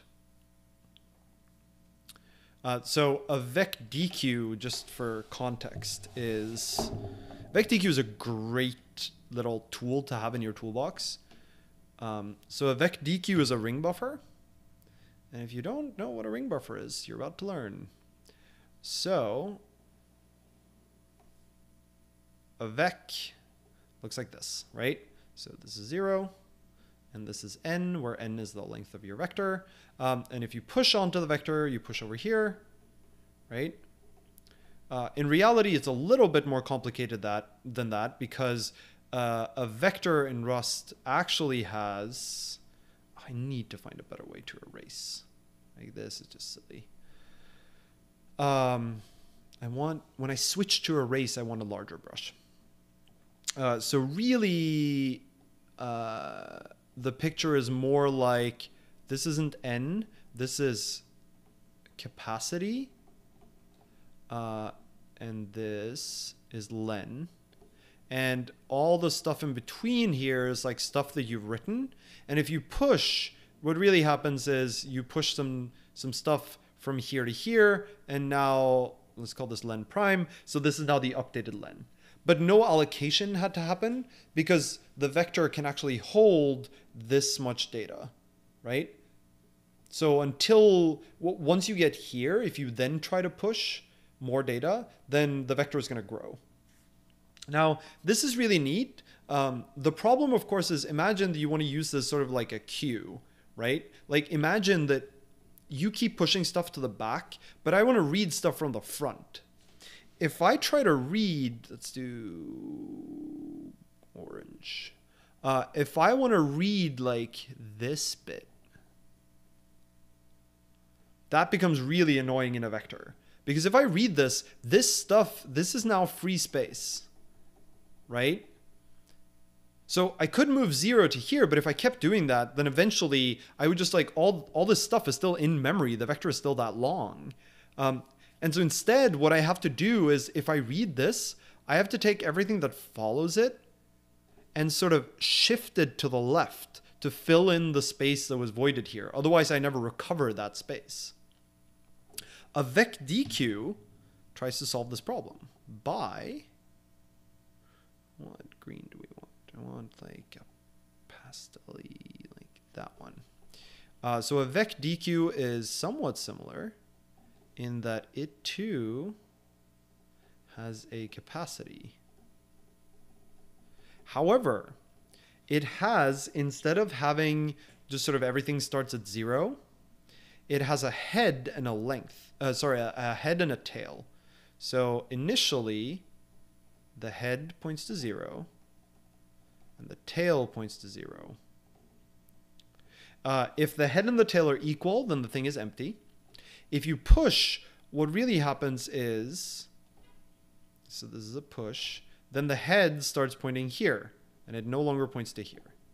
If you push again, the head now points to here. Doesn't point to here anymore. The tail still points here. Uh, I might have gotten head and tail messed up here. This is the tail. Uh, this is the head. So head as in the start of, tail as in the end of. So the start of the data is here, so this is the head, not the tail. Uh, this is the end of the data, so this is the tail, not the head. Um, and so I might keep pushing stuff, and eventually I'm going to end up in a position, let's just ignore all of this at this point, where the tail points here, and the head still points to the start. So the question is, now what happens? Ooh, that's a terrible color. Now what happens if I want to read this thing? Well, reading this is now trivial, because all I have to do is increment the head. And any indexing operation just always starts from the head. So if the head is now here, this now has length 4. Because the length is from the head to the tail, always. If I push, I still push the tail. If I pop, if I um, pop from the front, then I just increment the head, right? Um, where VecDeques get a little funky is as you move further to the right, you can easily end up in situations like this one, where you have your VecDeque and the uh, no. That's not what I meant to do. Um, where the so this is still the capacity um, and the tail currently points to here right? And the head points, I don't know, here, right? And there's still a bunch of stuff in between here that I've like written to in the past, uh, but currently is not being used by anything. So the head is currently pointing here, and let's say that there are three elements here. So these are currently the three elements of the VecDeque. So if I popped three times, I would get three these three things. Um, but now what happens if I push? Well, what actually happens when I push is the tail wraps around and moves to here. So tail is now going to point to over here. It's not going to point to here anymore. And now this is an element. And so notice that what this means is that a VecDeque can sort of become bifurcated, right? It now it's now no longer a single region of memory. The VecDeque, if you were to read it start to finish, you would first read these bytes and then you would read these bytes.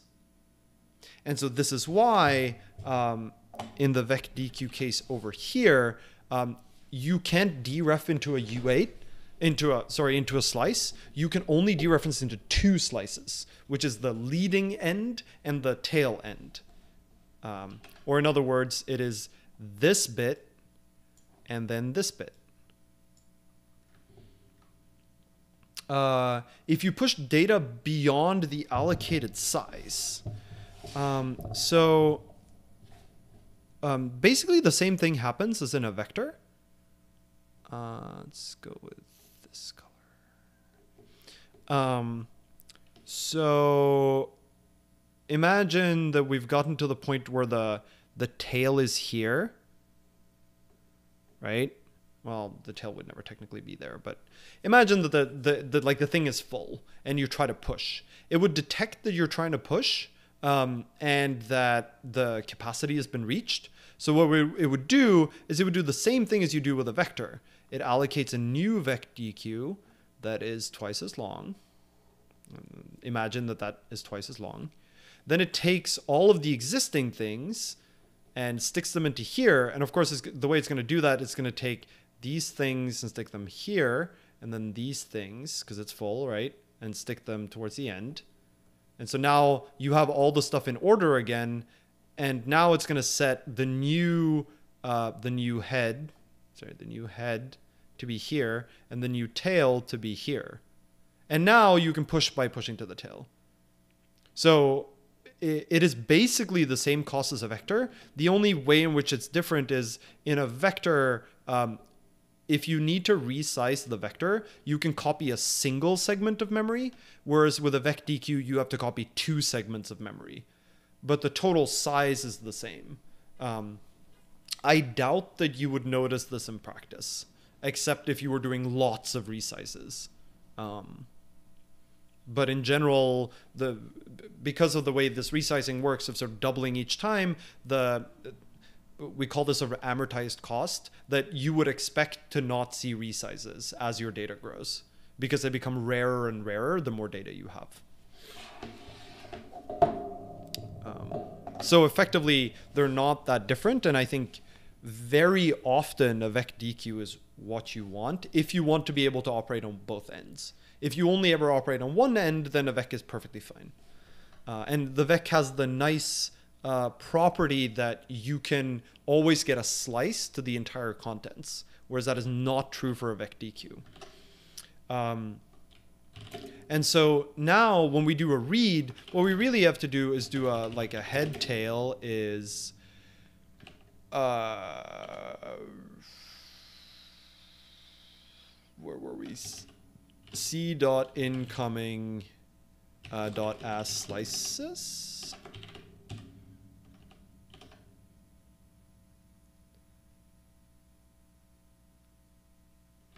Actually, I might be able to do even better than that.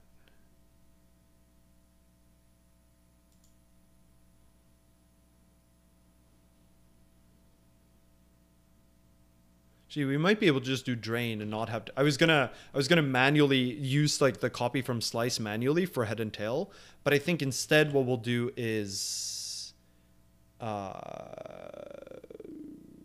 actually we might not be able to do that.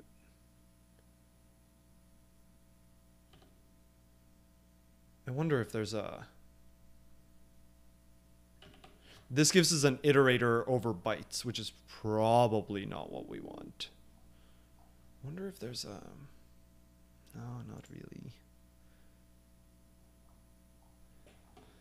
Um, I mean, we could. the The problem is that we have a we have a buff where because these are mu these are U8s. It's not like this is a a vector we're gonna push to. It's just we're gonna overwrite the bytes that are there. So I think we might actually still want this.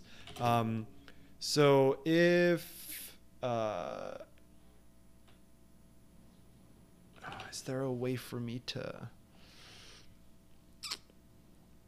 I want like truncate start, but I don't know if that's a thing here. Uh,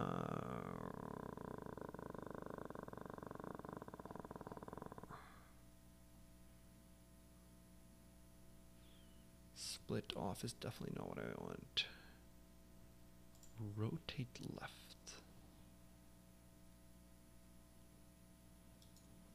that's definitely not what I want. Huh. Alright, what does drain do internally?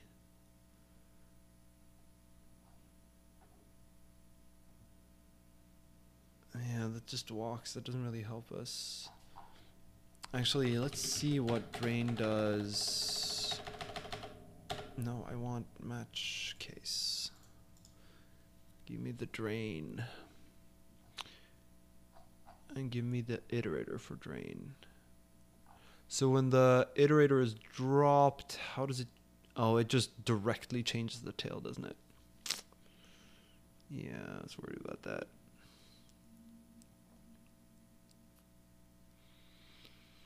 Hmm.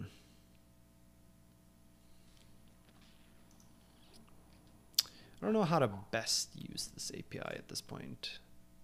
Because I want to not have to pop bytes individually. Right? Like I okay, so here's here's one thing we could do.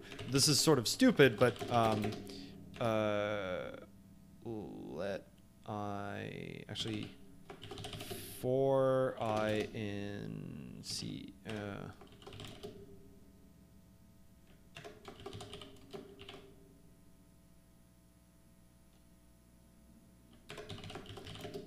I is zero. And red is zero. While let this is I'm just gonna show why I think this is stupid. Uh, while let some byte is c dot incoming dot pop front uh, nread plus equals one uh, buff nread is equal to byte um, and I guess uh, if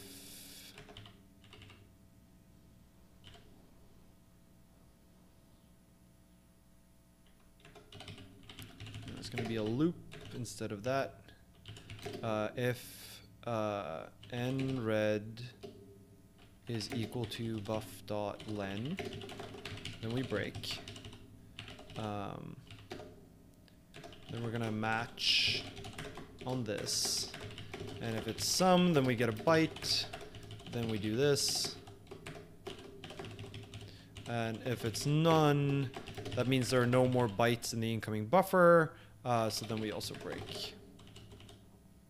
Right? So this will do the right thing, but it's really stupid. We're copying one byte at a time. I want the equivalent of this code, but without copying one byte at a time. Um, and I think the way we do that is, uh, well, the problem is we need to be able to remove stuff from the start. I'm actually kind of surprised that there isn't a, um,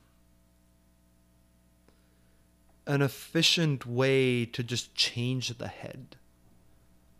I mean, maybe the trick is drain.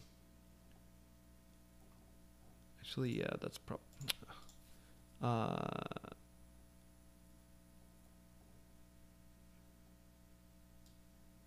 Okay, so I think what we actually want to do here is um, head tail is c dot incoming dot uh, slices.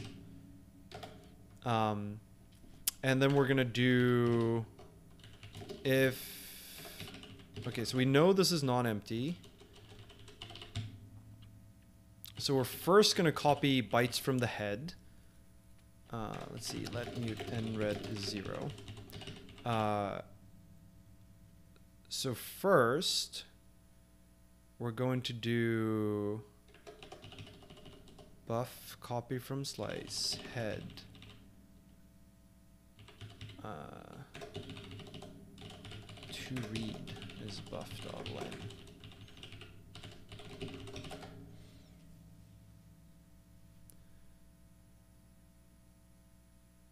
Hmm. That doesn't quite work either. Let me write out roughly what I was thinking. Uh, and then we can discuss. Uh, c dot incoming dot drain. Red.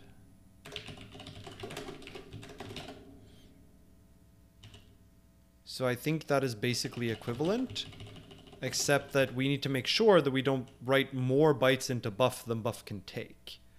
Um, I think slicing breaks. I think we need um, hread is going to be compare min of buff.len and head.len. And we're going to do h read. Then we're going to do nread plus equals hread. Um, and then uh,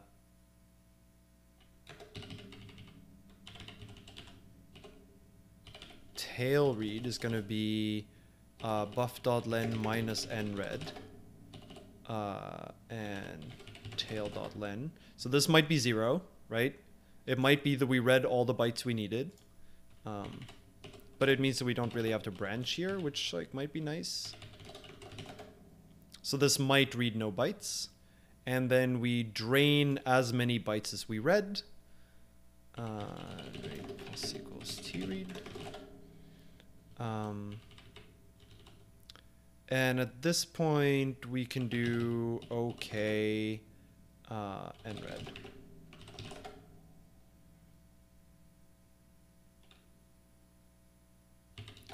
Uh, and I'm going to leave it to do for myself here. That might not make sense right now, but uh, we'll come back to it.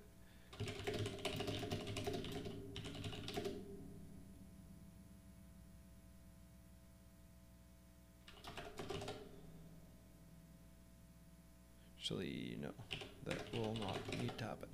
Great. Okay, so uh, let's take a look at read now that we have the whole thing, right? We first try to take the lock, right? Because we need access to the, the data that's been read. Um, we look up the connection for the TCP stream we're trying to read from. Uh, if there's no data, we're going to have to block. Currently, we don't know how to block, uh, and so instead we just return would block. Um, if there is data, though, then we will read as much data as we can. There's actually also a question here of uh, detect um, fin and return nread uh, equals zero. Because uh, we're going to have to detect when the other side have stopped sending us data and then read the contract for read is basically you need to return OK zero if the other side is not going to send you anymore. And currently we're not detecting that. Um, and I don't think we have a way to detect that either at the moment. Um, yeah. Um, okay, so if there's no data, then we need to block, and we don't know how to do that yet. Otherwise, um, we're basically just going to read as much as we can from the incoming buffer that still fits within buff, and then we're going to re return the number of bytes we ended up reading. And of course, uh, write is going to end up being very, very similar, except going sort of the opposite direction. Um, specifically, uh, we're going to have to take the lock. We're going to have to look up the appropriate connection. Uh, if... Ooh, that's also a good question.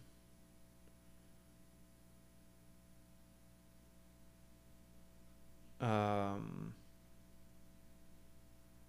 So here's a question Should write ever block? Right? We could always keep doing writes by just expanding the buffer, the sort of outgoing send buffer. Um, but that might not be what we want. We might want to disallow more than a certain number of packets outstanding, right? So think of it this way. Um, uh, we're going to go over here. Uh, we're to switch to the nice blue. So um, imagine sort of in the very abstract, right? A client and a server. And there's a connection going this way, and there's a connection going this way. So this is after the handshake has happened, right? And uh, in this setup, ooh,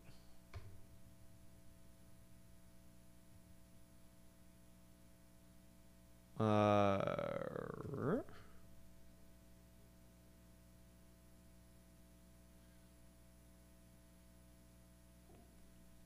weird.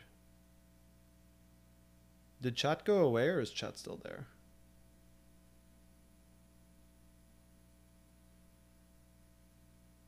Suddenly the chat service is reporting zero people from like 60, which seems wrong. Um, I'll keep going. But if someone can type something, that'll be helpful. Um, okay, so you have a client and a server, and um, uh, there's like the server is going to have some capacity. Like it's not going to let you send it just just keep spewing data to it. It's going to say like, okay, great, thanks. Um, so imagine that it has a limit of like 1024 bytes or something like you are not allowed to send me more than this much before you hear back from me that I've received them. Well, the client still has some application program that's running on it, right? That's sending it data.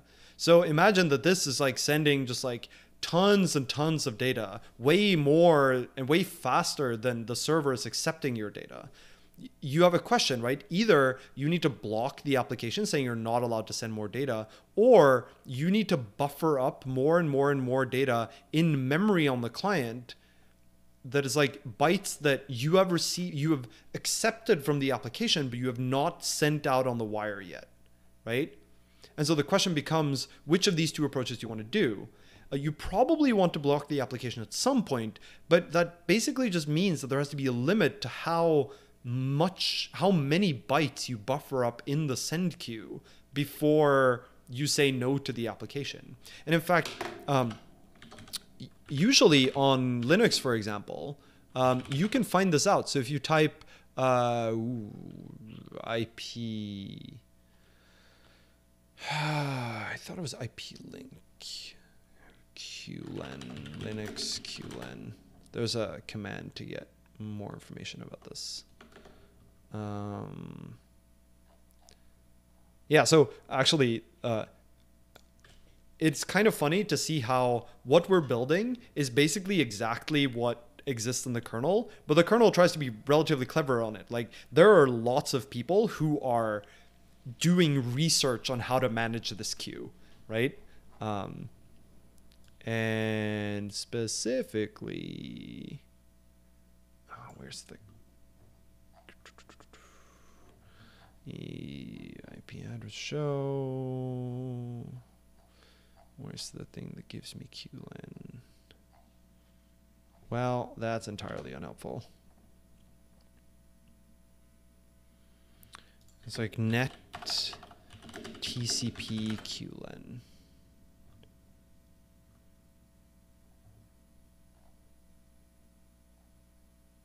All right, I can't find it, but let's ignore that. But there's basically like it's not quite this parameter, I think, but there's like a there's a limit in the kernel to how many bytes you are allowed to stick in the buffer before the kernel will start to block you. Um, and so we have the same problem with write. At one point, do we see and say sort of enough is enough? Um, and that's basically what we're going to end up putting here, right? If c.outgoing.length is more than like uh, send queue size. So we're gonna have some const send queue size. It's gonna be 1024 for the time being. Um, then we're gonna have to block, right? Uh, too many bytes buffered. And we're gonna have to block until some of the bytes that are in the queue have been sent out on the network. Until the server started basically accepting more of our bytes, we're gonna have to block the application. Currently, we don't know how to do that, so currently we're just going to return would block, but this is the case in which we would block. Um, yeah. Great. Um, I also just realized that another thing we're going to want is impl TCP stream uh, shutdown.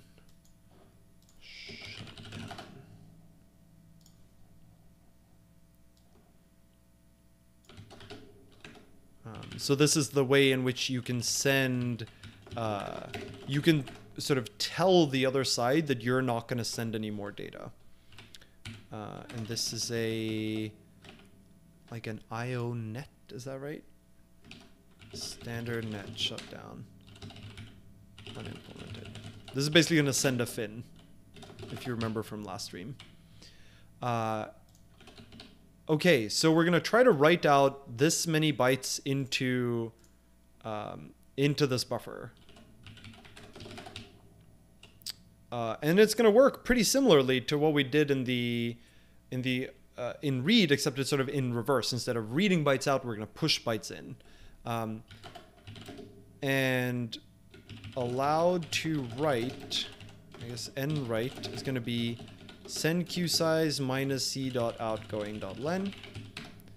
That's how many bytes we're going to be allowed to write, and it's going to be uh, standard min of buff.len and that much, right? So we will write either as many bytes as we have or as many bytes as we're allowed to, whichever is smaller, right? Because we can't write out more bytes than we've been given. Uh, q length with ss-l. Uh, no, that's the current size of the queue. I was looking for the, yeah, so you are right. So SSTL, uh, TLP. Oh, what? That's, oh, TPN. That's what I want. Um, so this is showing me, actually, let's ignore the N um, and ignore the P. So this is showing me all currently open TCP connections on my machine. And for each one, how many bytes are in the send buffer and how many bytes are in the receive buffer. Um, and uh, um, and also things like which TCP state we're in. So this is kind of neat. Um, but this doesn't show me the maximum buffer that the kernel enforces. Still trying to figure out how I would do a lock-free circular ring buffer in Rust. This would be ideal in this situation. Um, it wouldn't be quite enough because you still need the wake ups, um, which you don't quite get with the lock free stuff. It it gets you quite far, but not quite a, enough. Uh, I think some finer grained locking might help us here. Um, okay, so that's how many bytes we're gonna write, and of course the actually writing this is is pretty easy because we don't need to worry about the head and the tail. Instead, we are just going to do uh, c dot outgoing dot extend buff from buff to and write. And then we're gonna do oh, uh, I guess, and then we're gonna do okay and write, because that's how many bytes we wrote out. Um, here though, we might have to do a to-do schedule or wake up writer. Uh, and a flush. So a flush is basically saying uh, block until there are no um, until there are no bytes in the local buffer. Every byte has been acked by the server. Um, and so this is also going to work very similarly, except that it's going to be uh, if it's empty, then we're just going to return OK. Right? If the outgoing buffer is empty, then we're done. Otherwise, we're going to have to block, and we don't know how to block yet. Um, so we're going to have to figure that out. Um, and shutdown is basically setting the fin flag, which is not something we have an external interface for yet. Um, but now let's see how far we get on compiling this. Uh, oh, we need a bunch of things, don't we? Main. It's gonna have these three.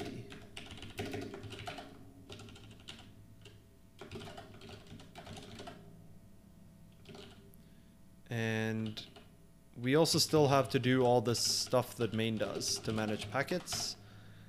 Um,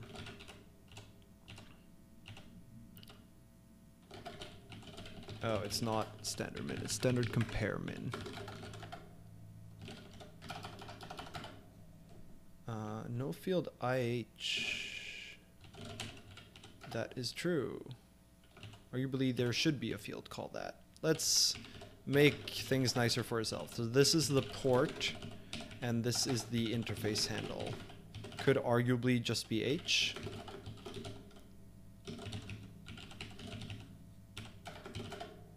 Um, and TCP stream is similarly going to be the quad.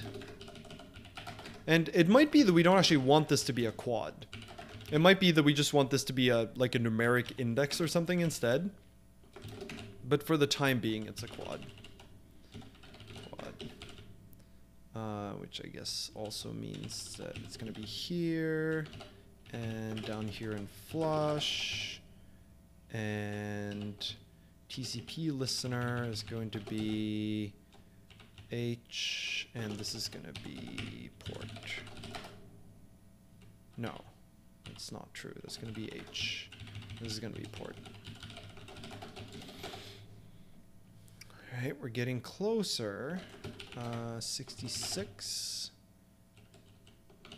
Uh, that is actually IH. And this is actually IH. Because we need to, oops. Um, we need to distinguish it from the join handle, which is also a handle in this instance. Uh, mismatch types on line 51. Bind. Um, oh, this is not, this is port and handle. And I guess that also means that accept should also be uh, TCP stream quad and handle. How about now? Missing fields incoming.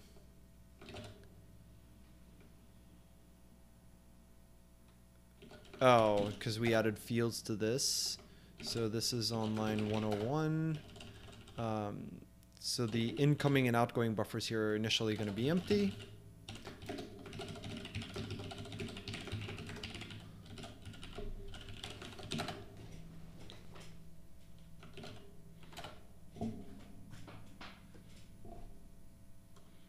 Oh. Uh, did I not call it out? Unacked.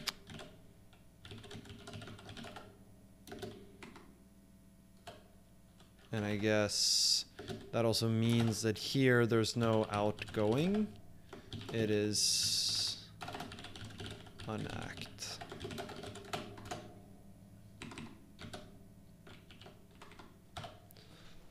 Um, oh yeah, we no longer need the MPSC. That's nice. Uh, 48 CM. That should be IH, not CM.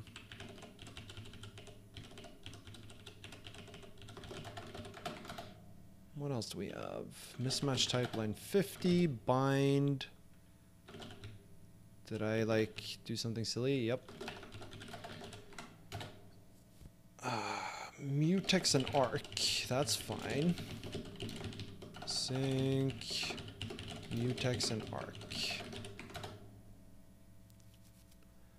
Uh, 158. Extend is not an iterator. That's interesting. So for a vec DQ, what do they want us to do? If I don't want to push a bunch of stuff. Uh,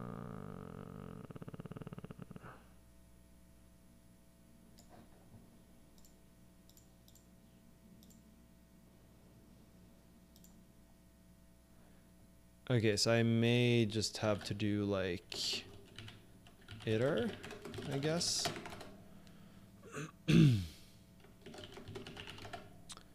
uh, oh, right. We want to be able to access these fields, so incoming and unacked need to be pubcrate. For now. 56. Uh,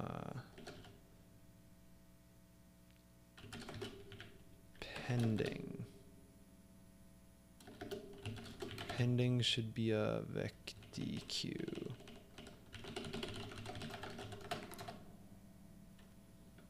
And 56 should be new.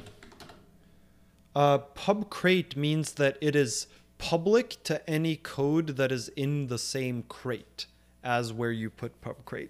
So it's not public to people who use your crate as a library, for example, but it is public. It, it is available within your crate. Think of it as um, sort of like protected in Java, maybe.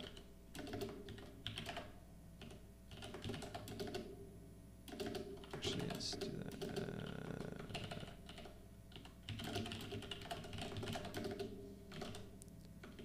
One sixty-seven. Oh, this is gonna have to be mut. This is gonna have to be mut. This is gonna have to be mut. And this is gonna have to be mut. How about now? 54. And this is gonna have to be mut. oh, so close. So close. All right, main is gonna have to change a lot. That's fine. Uh, bunch of complaints in TCP. That's fine. Those are sort of to be expected. We do want to fix the ones that are in source lib though. Okay, I think those are all expected. Great. So now time to fix main. Right. So we still have this to do of um, something has to be reading from the NIC, and currently nothing is reading from the NIC. Right. So all the stuff that happens in main currently we want to do here. And so this is going to be something along the lines of um, packet loop. And it's going to be given a NIC and the IH.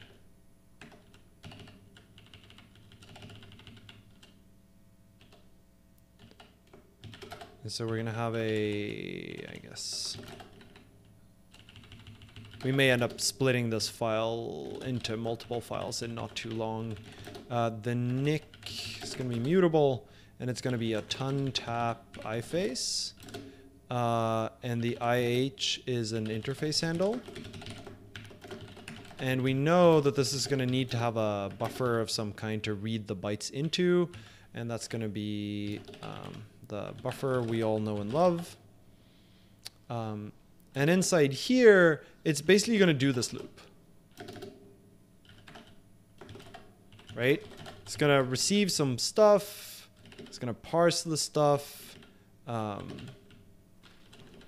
but anytime it needs to actually touch the underlying state, uh, the status bar, this is airline. I have a separate video on my YouTube channel. That's how my entire editor is set up. So you should go watch that if you're interested. Um, so what we need this to do is whenever it's about to touch the underlying state, it needs to try to take the lock, right? Because there could be someone else reading at the same time, for example. Um, and that is basically down here. We're gonna do uh, CM is uh, ih.lock.unwrap, and then we're gonna do CM dot connections dot entry.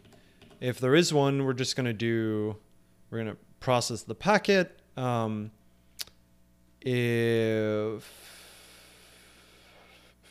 if it's vacant, then the question becomes, uh, is someone waiting, right? So here it now becomes a question of uh, if let um, some pending is cell no is uh, cm dot pending get mut uh, TCP/H destination port right? This is basically checking is anyone listening?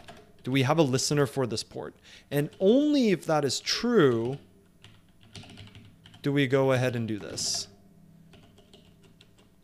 Uh, and then we both insert into E and we also do pending dot uh, push back because we now accepted that connection. So we also push the quad. So let's go ahead and store the quad somewhere. Uh, let q is equal to this. Then we push the q to indicate that this is now a connection that exists. Um, and of course, in this case, to do, uh, wake up pending accept. Right, so here we just accepted a connection, and it might be that's so currently nothing really blocks, but if an accept call is blocking, waiting for something to appear in pending, we need to wake that up. And we haven't really said how we're going to do that yet. Uh, the buffer math can all be in the circular buffer, and it would return would block only if there's not enough room in it. And you can avoid all the locking part as well. Yeah, the problem. So I agree with you. The problem is we will not actually be using would block. We need to actually block, and that's where you're going to need something that's a synchronization mechanism for waking people up. Um, it is possible to do that with lock-free data structures, but it is not quite as straightforward um, because imagine that you you detect that the the if you have a lock-free ring buffer you just sort of do a, a lock-free read you notice that it's empty. Now what do you do in order to block? You need to block in such a way that someone else can wake you up when there's data there. Um, you can still access yes. So you're right that um, uh, you could totally have a push uh, you could totally have a polling API um, if you had a lock-free ring buffer, but you could not have a blocking one, which is what you want. Uh, or it depends, right? Like it, we might want to be able to provide both, but they sort of necessitate different designs. Uh, even in a non-blocking design, you don't actually want to be polling all the time. You want to get notifications when you should poll. At least that's how sort of the current async infrastructure works. And that means that you have to be able to somehow give wake ups. Um, okay, so here we're going to have to do some kind of wake up, and we don't quite know how we're going to do that yet, or we have some idea, but I haven't told you. Um, all right, let's see how it complains about that. So main, uh, in some sense, main is just going to no longer exist, but we kind of want main, right? Um, and so specifically what we're going to do with main is main is going to do trust uh, interface new uh, let if is uh, let i um, like so. And then we're going to do i dot listen uh, or i dot bind to port 9000 uh, we're also going to do uh, 9001 but we're not going to listen on any other ports um, and then, uh, then what are we gonna do? Then we're gonna thread spawn move this. Uh, this is going to do loop. Uh, or actually this is going to do while let okay stream. So this is going to look very similar to how we write networking code, which is sort of intentional because we've we've um, built it on top of the same kind of design. Actually, while I remember, we're going to have to do uh, impl drop for TCP listener.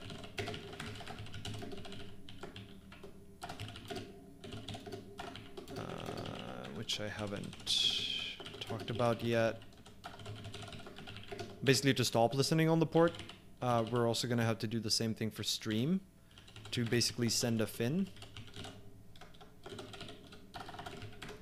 Uh, and we're also going to have to do the same for interface, I think. Uh, because the interface has to um, tear down the, the network and stuff. All right, so uh, while there's another while l1 dot accept uh print line god connection uh, on 9000 and then it's just going to drop it. And this is going to be god connection on 9001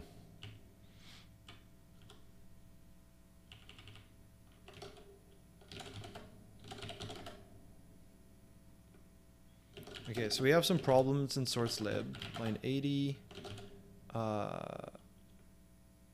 that returns nothing. Ooh, that's a good point. Yeah, like what happens if this errors? Um, if on packet errors, for example. I think we're gonna have this return a an IO result.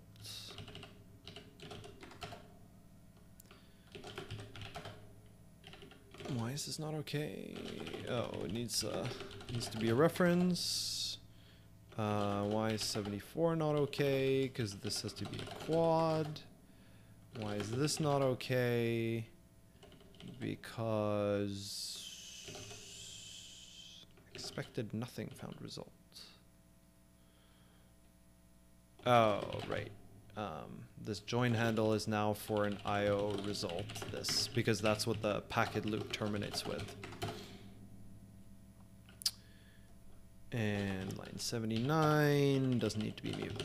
Great. And line 80? Oh.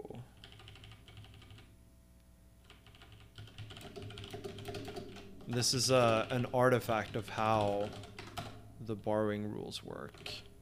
I think we're gonna have to do this for that to work. So the the problem here, let me recap that. Um, so it says cannot borrow CM as mutable more than once at a time. Uh, specifically, it's saying we're borrowing cm.connections here and we're borrowing cm.pending here. Uh, and that's not okay, it's saying. Um, and you might think, well, this is weird. Normally, it should realize that these two borrows are of different fields. And so why does it care? Like borrowing those mutably separately should be fine. Uh, the reason here is CM is a mutex guard. Um, and because of that, because it's a mutex guard, we're going to deref. And uh, we're using the deref mut trait on CM to give us the underlying connection manager, right? But but that uh, deref borrows the entire mutex guard. And so here it's really saying you can't borrow the entire mutex guard mutably again because you're already borrowing it here. Um, so what I'm doing here is basically a reborrow. So I'm I'm uh, dereference. So I'm doing the deref mut here, which gives me a mutable reference directly to the connection manager as opposed to the the mutex guard, uh, and then it can distinguish that these are different fields. Uh, main is complaining. Why? Uh, no method named accept found. Oh, right, because we call in and try to try accept. Let's just have it be called accept, even though it's not quite right. Uh, mismatch. It's saying five. Uh, function body does not return. JH1 is this. JH2 is this. One dot join, JH2 dot join.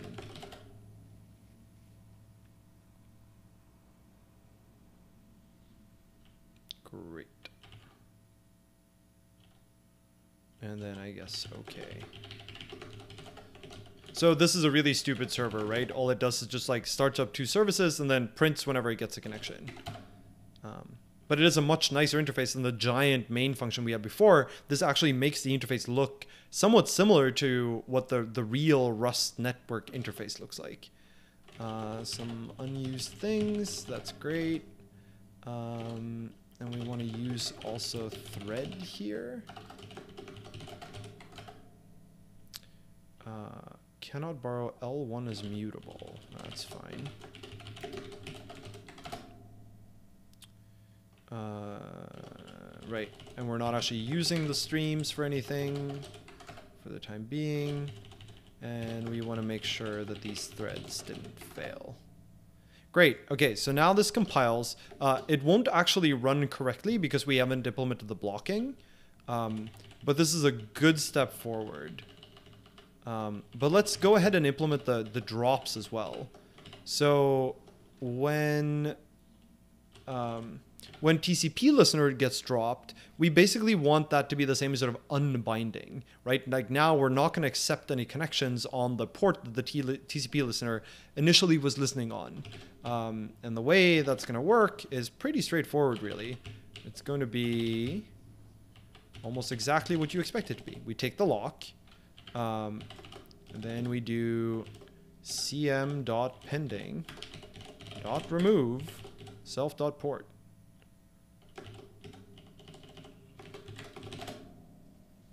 Right? Um, so this is going to be pe- uh, pending. And uh, we also sort of want to drop all of those connections. So um, remember that the code that we wrote for in TCP. Uh, that's not what I meant. Um, so the code we wrote for the packet loop, right? It gets a packet. Um, if it gets a packet for a quad that it didn't have, and that port is currently open, it's going to go ahead and accept that connection. But imagine that this means that you might have it might have accepted a bunch of connections, and then we go ahead and drop the TCP listener. What do we do about all the connections that have been accepted or, or that we're about to remove from pending? Well, we sort of need to terminate them, uh, and the question becomes how. So down here in the drop, um, this is going to be, I guess, um, connection for quad in pending. And here we're going to have to do something to uh, shut down or uh, terminate all terminate cm dot connections quad which is something we haven't done yet so currently we're going to leave that as unimplemented, and that unimplemented is only going to be hit if there are any pending, right? So this is basically the same as like assert pending is empty, um, except that we get to write out what we want this pattern to eventually be. Uh, the drop for TCP stream is somewhat similar um, in that it is going to do, it's going to take the lock, it's going to remove itself, uh, expect, and this is a similar kind of expect of, uh, oh, actually this, um, this is going to be if let uh, some c is that, right? Because um, it could be that the other side has dis terminated the connection. If the other side has terminated the connection and we just drop the TCP stream, that's not a problem. It's only if we still have the connection open, um, then we need to do the same thing. We need to terminate this connection. Uh, but we probably don't want to sort of forcibly terminate it. We just want to like send fin on this. Uh, so this is similar to this bit down here. This is similar to shutdown. So arguably this could be like self dot shutdown type ordeal. Um, because it's basically doing the same thing. I guess we can do this here. Just to leave the to do for ourselves. Um, all right. And I guess maybe we don't need drop for interface.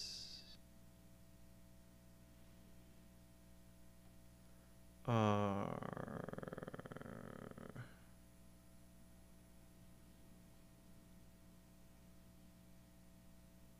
well, so for this, um, when the last,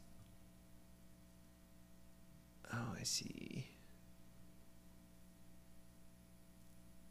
We sort of want some way to do a clean exit, right? So currently the um, this this packet loop thread remember we we spawned a thread to do the packet loop? That loop is just going to keep running forever. It doesn't it doesn't know when to exit. Um, but if you drop every single tcp stream actually if you drop the interface right? If you drop this and you've dropped all the tcp streams and tcp listeners then we sort of want this this thread to shut down um, and so I think what we really want to happen here is uh, well, we certainly want to do self JH. Oh, this is where it gets awkward. Well, so we want to join unwrap, unwrap. Uh, we also sort of, but, and we sort of want to drop self.ih, right? The problem is this won't actually work, but th- this is what we want to do. Uh, and then we just want the, we also need to make the packet loop somehow recognize. So maybe we do something like uh, on the connection manager, like terminated. It's going to be a bool or terminate bool. So this is going to do self ih lock unwrap terminate is true. Uh, and then we sort of want to want to wait for that to actually finish running. The problem that there are a couple of problems with this. One of them is that this might be blocked on this receive, right? But here we know that we're going to have a timeout regardless. So here um, to do set a timeout for this receive for buffers uh, for uh, timers or for TCP timers or uh, cell uh, connection manager terminate. So at least we know that once we fix this to do, this receive will eventually return. And at that point, it's going to recognize that it's been told to terminate and it's just going to terminate.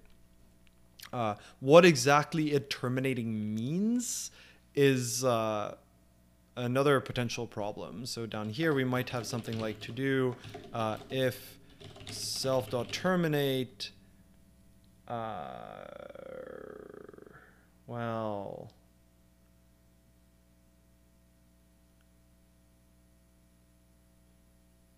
uh, and arc get strong refs or something. Uh, IH is equal to one. So that would mean that there's the the loop is the only thing that still has a handle. Um, then uh, tear down all connections and return. So this we still don't really know how to do, but this business is a little tricky because um, we only have a mutable reference to self, so we can't drop any of the fields inside of it. And self.jh, so join handle join, also consumes the join handle. Um, this is a pattern that you run into in drops that are always a little bit annoying. Um, and so one way to fix this is to have an have interface be an option. It's kind of sad, but it does work. So it's basically this. Uh, and so it's uh, self.ih.take drop and dot take dot expect uh, interface dropped more than once. Uh, is there an actor crate you could recommend? Um, I haven't really used any of them. As far as I'm aware, Actix is sort of the biggest one. Uh, although Actix um, uh, they seem to be pretty hap- sort of trigger happy on doing unsafe things. Uh, and I think that's a problem. But I haven't looked at it in enough detail to really say for sure. Um, apart from that, I don't know of any other actor libraries in the Rust ecosystem. Uh, yeah, so we the what we're doing here is basically just asserting that drop this option is always going to be some. Until you call drop then they're going to be none and you cannot dro- call drop more than once. Um, this has the unfortunate side effect of uh, you need to do this everywhere where you want to use the IH so down here IH as mut unwrap lock. Unwrap clone. Uh, 133 IH is going to be some uh, some IH and JH is going to be some JH Um, yeah, so there's still a bunch of to-dos here. The biggest to-do, though, that I think we sort of need to fix is this blocking business. Um, because without that, if, if we try to run this right now, I mean, I can try, but I don't know that it will do anything useful. Uh, probably break in all sorts of horrible ways. Uh,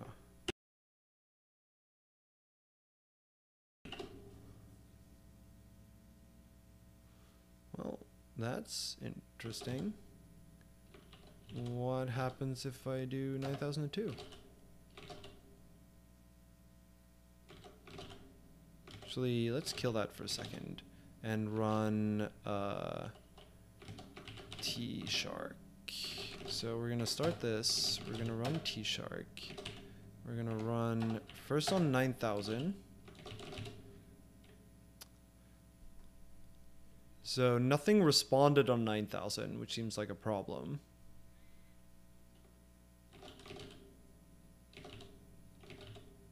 Not sure why that is.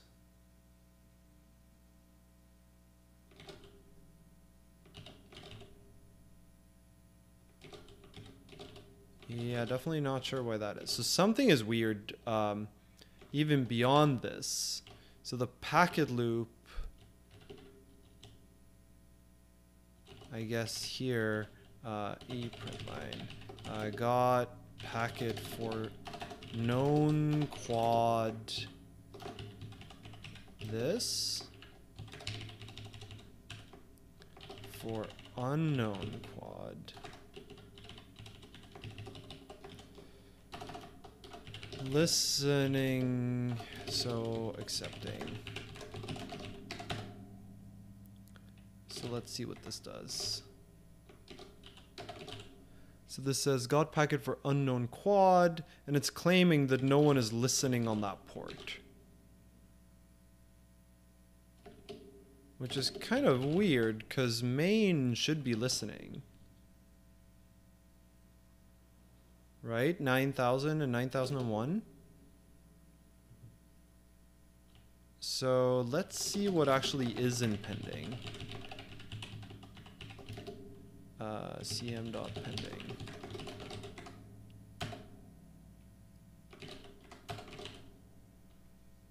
Pending is empty. That seems problematic. Um, why is pending empty?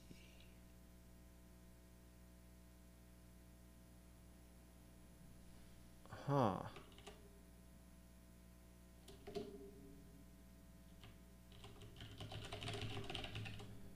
Uh, bound to 9000. Let's see that these calls actually return.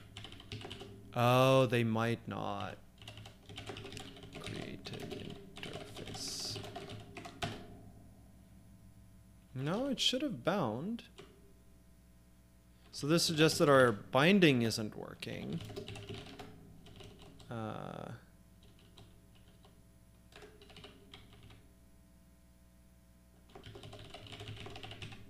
bound.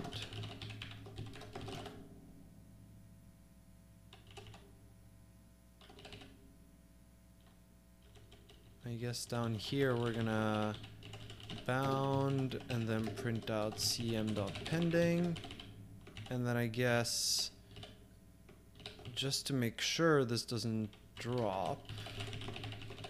Drop listener. Oh I know what's happening. The listener does get dropped. It's because um okay so here's why. Um, this thread the, these two threads are immediately going to start trying to accept connections um, on uh, on these TCP listeners Except though, remember, we haven't implemented blocking, so they're just immediately going to return an error with uh, would block. And so it's going to, the thread is immediately going to exit, at which point it drops the TCP listener. Uh, so it's no longer listening on that port. So we do need to fix this blocking issue. Uh, so let's go ahead and do that. Let's keep those in for now. Let's get rid of that. And let's get rid of that. Okay, so specifically, let's fix fix um, blocking for accept because that is basically the the delta we have to what we had working before right? So before you could accept and then it would just end the connection. Uh, now we want to go do a little bit better than that. Um, okay so the question is for accept how do we get this block to work right like this is our our nemesis right now um, and the way we're going to do that is we're going to use what's known as condition variables. So a condvar is basically um, a way to block a thread while waiting for something to happen. Here, let me make this a little larger. Um, and so the idea is that you're going to take a lock, you're going to check a condition, and if the condition is not true, you're going to wait on a condition variable that someone else is going to notify you when changes. And then you're going to check if the thing is now true, otherwise, you're going to wait again. Um, and so the basic pattern is uh, sort of like this you take a lock, right? You take a lock, you check whether the condition is true, and while it is not, you wait. And the wait implicitly releases the lock until the condition is true again. Um, so here we're going to do uh, this is going to be loop. Or this is going to be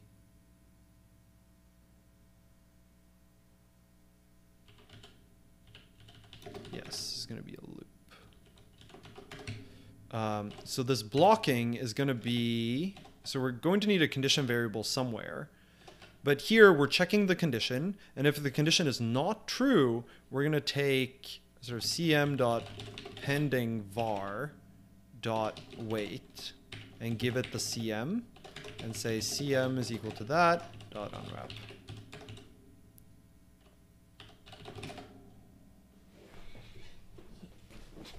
Right? So this pattern is basically uh, we're going to keep releasing the lock and blocking until someone tells us we should wait up on this. Um, now, there are a couple of ways in which we could implement this. We could have a single condition variable across all TCP listeners, but that's probably not what we want. We probably want sort of a condition variable per. Actually, it might not even matter because the lock is global anyway. Um, but let's go ahead and make this uh, pending variable be per port. So now what we're going to have is in, in the connection manager, instead of having pending just be this, uh, we're going to have a uh, pending, which is going to have a VecDeque quad and also a condition variable. Uh, and the restrictions are uh, each condvar can be used with precisely one mutex. Um, and I assume that you can use one mutex with multiple condvars. They don't say anything to the contrary, so...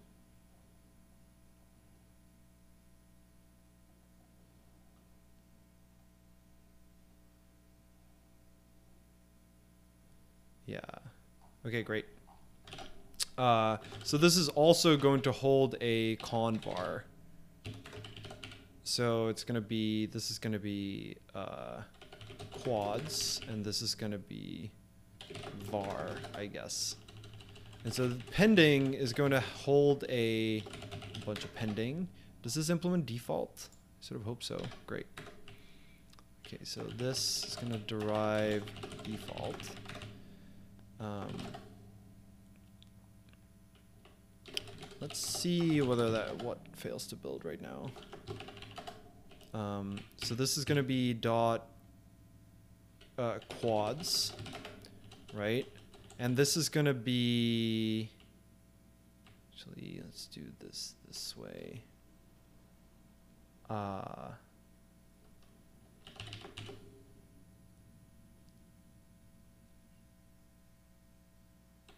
ooh.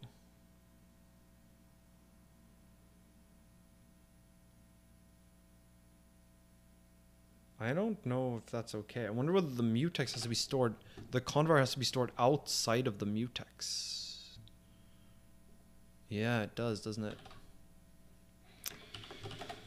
Well, that's kind of awkward.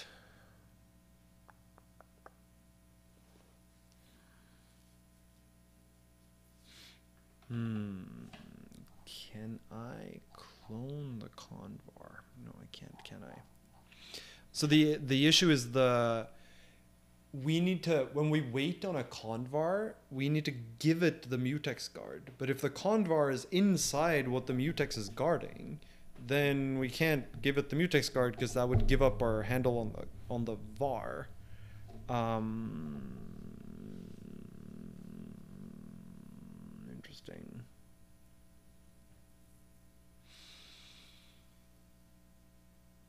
Interesting.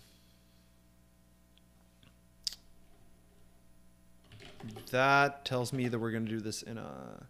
This is still going to be a slightly stupid way to do this, but... Uh, so... We're going to have... Uh, struct in... Oh, man. Uh... Don't know what to call this yet. I'm going to call it foobar for now, and we're going to change that name as quickly as we can. So it's going to have... Uh, the, the sort of manager, which is going to be the mutex. Uh, and it's going to have a pending var, which is going to be a condvar. It's going to have a receive var, although we're going to ignore the other vars for now. But eventually it's going to have those. Uh, I don't know what the foo bar is going to be called yet. Um, the reason we want to do this is because it means now uh, so this is going to be self dot h dot manager dot lock. Um, and down here, we're going to do cm is self dot h dot pending var dot wait cm. Right, so this is now waiting on the the pending var is now just in the in the thing that we have an arc to um, it is not inside the mutex itself. Um,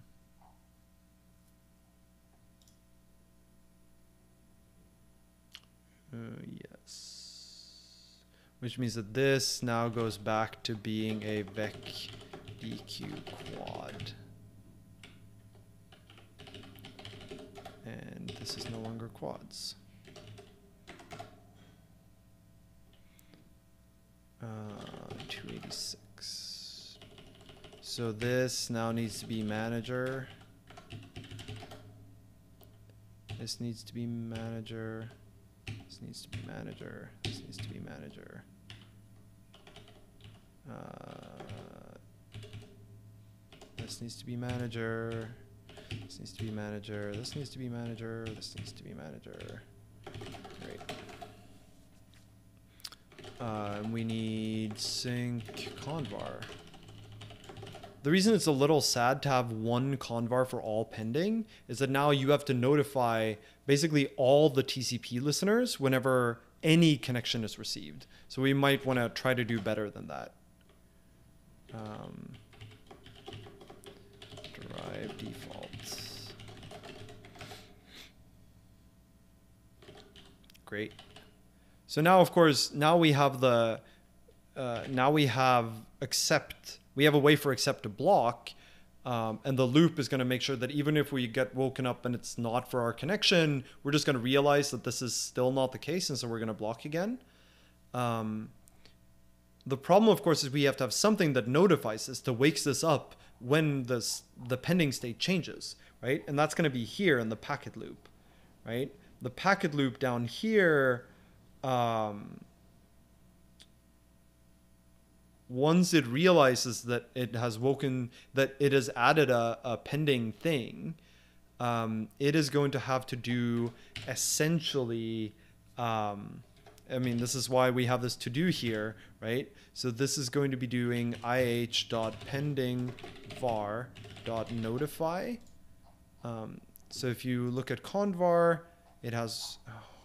It has wait, wait until, which we don't actually need. Uh, not wait timeout, not wait timeout, not wait timeout. Uh, notify one. I think we need, so unfortunately, currently we need notify all. Um, so this is going to call IH pending var uh, notify all. And we're to, before we do that, we are going to drop the uh, CM. Well, that's awkward. Uh, we really want to drop the lock here. So I think this is going to be G, G, drop CMG. Because we want to drop the guard so that we release the lock, so that when these things that are notified are woken up, uh, the lock will already have been released. Oh, hey, that compiled. How about that? Uh,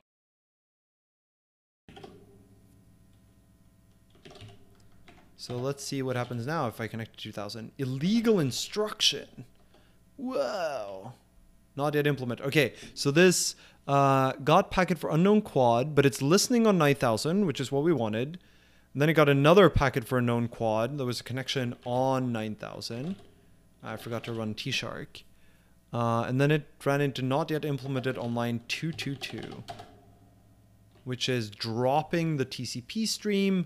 Um, and dropping the TCP stream currently, we're just going to sort of ignore because we know that the our underlying TCP implementation, currently it will just send a fin immediately. If you remember this from part one, um, we set it out such that the moment it gets a connection, it sends fin. It just goes, I'm done, I'm done. Um, and so we don't actually need to do this yet, but we do want this to eventually happen. Um, so let's try that again. Uh, let's start this this time. And let's try to connect. Okay. So that's interesting. Uh... Oh, this is like a, an old leftover. Let's let's run that again.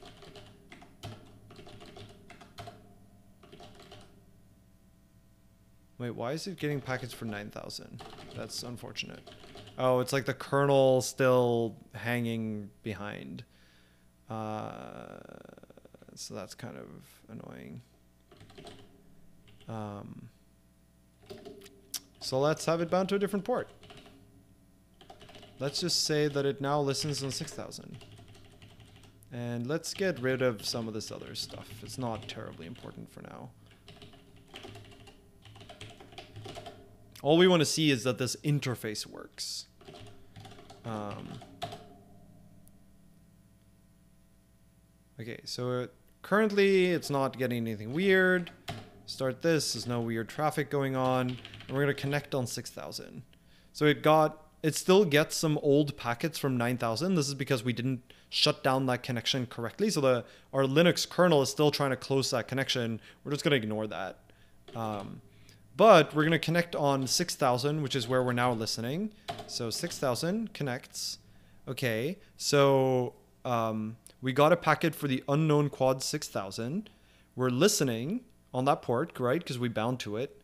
We got a packet then for that and now we say we got a connection. So this is the setup. Think of this as um, this is the SYN. Uh, this is their ACK of our SYN ACK. Uh, then we got the connection. And then this down here is we drop the TCP stream. And so therefore the we get rid of the quad, which might not be what we want. Uh, so it sent SYN, we sent SYNAC, it sent ACK. Uh, we sent finac, it sent ACK. Great. So we have closed the outgoing connection. It hasn't closed the connection to us because I haven't told uh, Netcat to stop sending stuff yet. But it did drop the connection because we dropped the stream, um, which is not really what we wanted. Because it means that if I now send this, it will just get very confused about the state. Um, so maybe, how do we want to do this even? Basically, when the TCP stream gets dropped, it's unclear we really want to forget about it straight away. Um, drop for TCP stream. Um,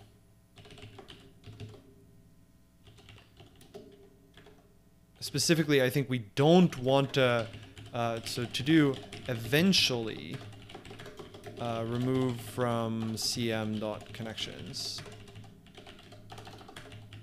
right? Because um, even after the user drops the TCP stream, there's still a bunch of handshaking that needs to go on, right? Like the we when we drop the TCP stream, all we're really doing is sending them a fin. They we still have to wait for them to act that. Otherwise, we might have to resend the fin, and so we don't want to dr- get rid of all the TCP state for that connection until we really know that all the that the peer knows that we shut down. Um, and so therefore, we don't actually want to do anything when we drop the stream except for send the fin. And currently, we don't have a good way to do that. We do that automatically. So currently, we do nothing in drop. Uh, so let's go ahead and try that uh, and make that 7,000 this time. All right, so now we're going to connect on 7,000. Okay, so notice now we didn't get any packet for unknown connection after here because we didn't drop. Um, and so now we see the same pattern. Uh, Netcat sent SYN, we responded with SYN ACK, it responded with ACK to our SYN, we immediately send a fin ACK, uh, and they ACK our fin, but they have not sent a fin yet.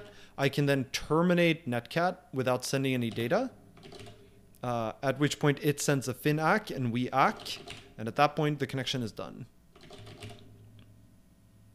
And so now notice the kernel isn't doing any retransmissions or anything. It, it's totally happy with everything just worked out, right? It, it really does think that this connection is, uh, is shut down. And we can check this with uh, TN. So there are, there are no connections listed for the tunnel, right? Whereas uh, if you look at, um, if I did this, then now there's a connection listed here right? Because it hasn't been shut down yet. It's set in close wait because the other site has closed, but we have not yet closed. Once I terminate this, this now closes and the connection goes away. So that means the entire sort of pipeline now works. And also notice that the this means that accept blocking is now working, right? The accept blocks when we try to do accept, um, and then it gets woken up when there's a connection available. So that is exactly what we wanted to happen. Um, of course, we haven't implemented any of the the sort of read or write stuff. Ah. Um, we haven't implemented any of the read or write stuff. Um, let me think a little here. So we have implemented read and write. We just haven't like uh, this incoming buffer and the out the unacked buffer are just currently entirely unused we are writing data into it and reading stuff out of it, um, but but that's all. Um, maybe we should fix this because that should be possible to detect.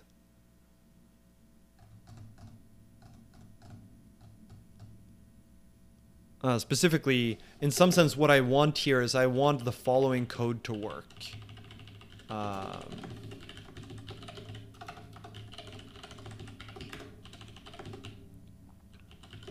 stream dot read uh, to like whatever it doesn't really matter and then assert eq n zero.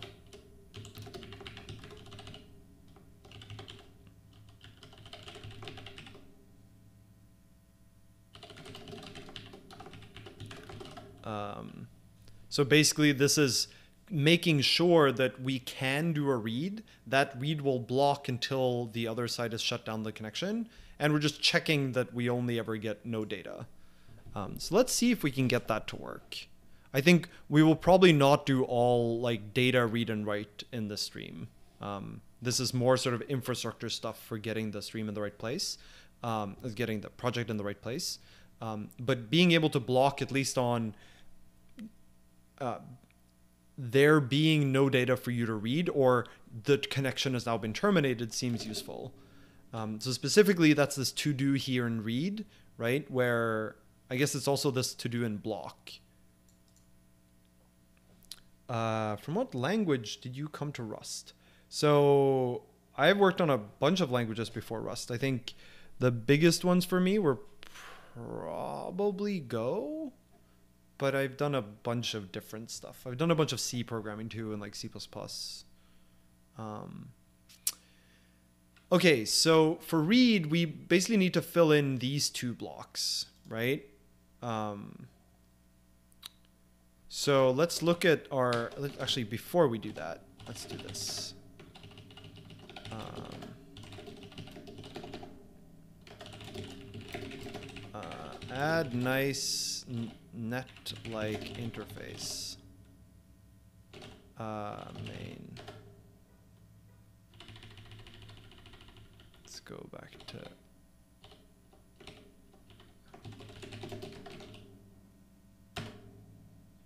Ooh.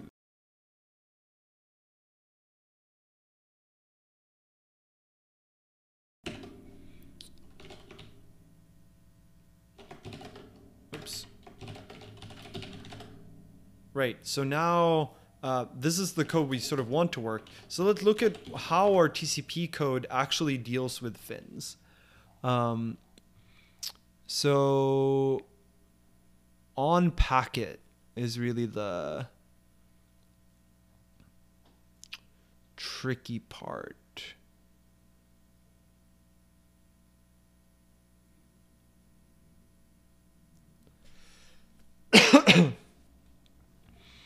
um, so here is when we get a fin from them. So then we know that any subsequent read. Uh, yeah, uh, there's a weird synchronization thing where Twitch people can see the YouTube chat, but the YouTube chat cannot see the Twitch chat. I don't know why, sadly. Um, so this is the point at which we receive a packet that has a fin, and at that point we know that there's just like no more data. Um,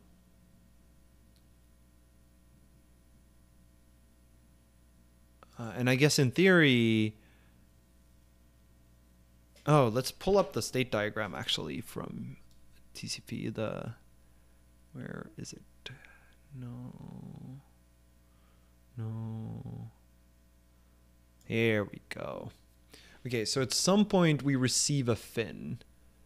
So here we receive a fin. And here we receive a fin, and here we receive a fin. So, what that means is if we are ever in the states close wait, closing, or time wait, or of course, last ack or closed, then we know that we're done. Um, so what we're going to do is on connection, we're gonna have a pub crate fn um, uh,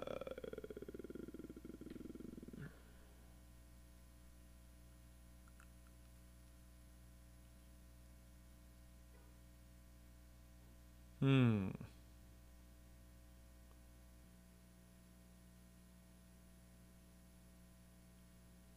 I think what we want here is a um, sort of like is closed is re receive closed uh, and that's going to be if self dot state. I guess if let uh, state time wait is equal to that. Uh, to do this is also uh, close wait or last ack or closed or closing. Those states also imply that the other side, uh, any state after received fin. So also those, which we, we have just haven't implemented those states yet. Um, and otherwise, of course, false. Um, and so now this is going to be if uh, c dot is receive closed and that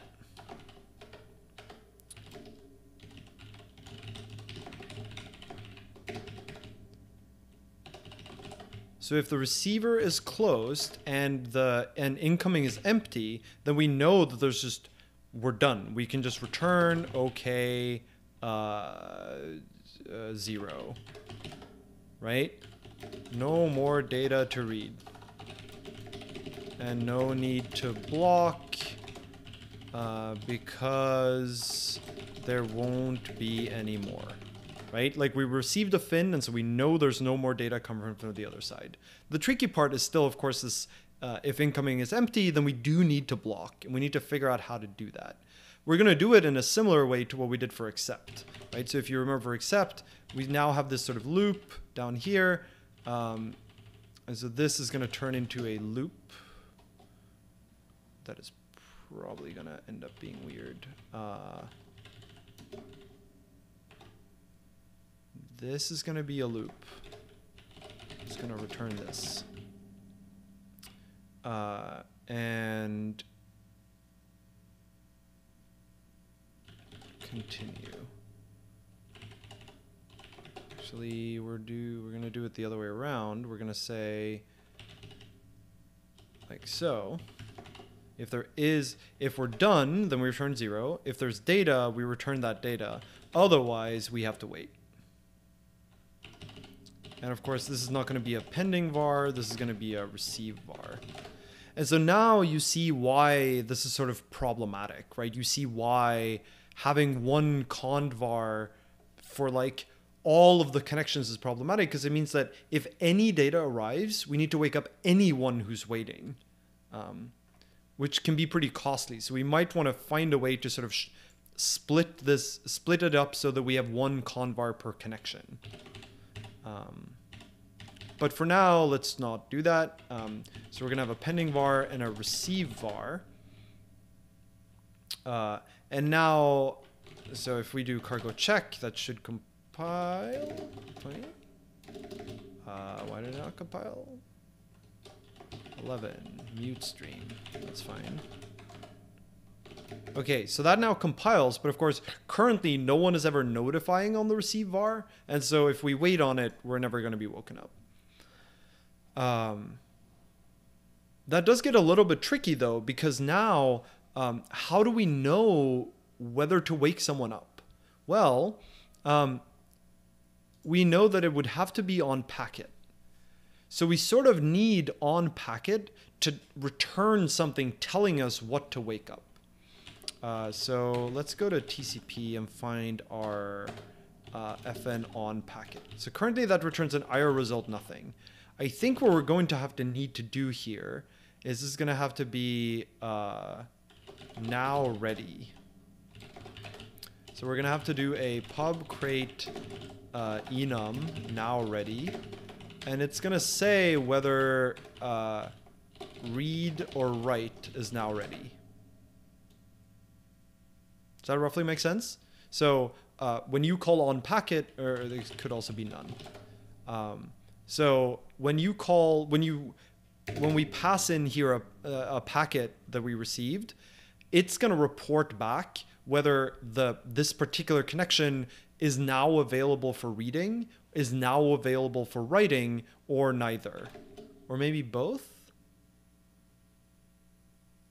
Uh, actually, let's instead of having it say ready, this should be. Um, it's almost like available. So that's going to be available for read, for write, for read, write, and none. And so we're going to match on that. And if it is uh, read,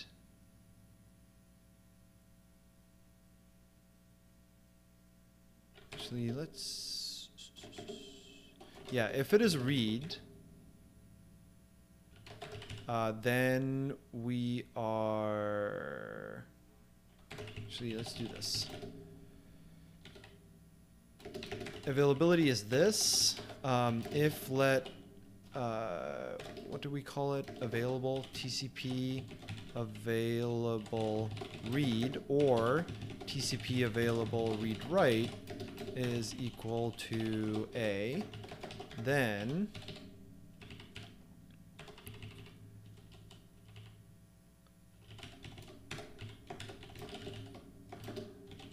check uh, compare before after. I'll explain that in a second. Um, so if read, if it's now available for reading, then we are going to do what we did down here, uh, which is we're going to, well, regardless, we're going to drop this. We don't need that anymore. Um, then we're going to notify all in the receive var. Um, if it's available for writing, then you could imagine that we're going to do something like send var, right? Currently, we don't have such a var, but you could imagine. Um, the reason I want to compare before after here is if it was available for read before this and is available for read after this, there's no reason to notify anyone, right? Because it was already available for reading. Um, but that is a performance optimization. It's always safe to notify. So we're going to just notify for now. Um, of course, that's going to break a bunch of stuff. Specifically, um, I think what we're going to want to do here is anytime we're about to return uh, okay, we need to actually do like self availability. So on connection, we're going to have a fn availability self uh, that's going to return available. Uh, and A is going to initially be available none. If, uh, I guess if self dot is receive closed or uh, self dot incoming is not empty, then A is going to be available, available read. This is a bitmap. I want a bitmask crate. What is the um, bitmask bit bit flag? Bit flags. But it's not bit flags that I want. What? Maybe it is bit flags.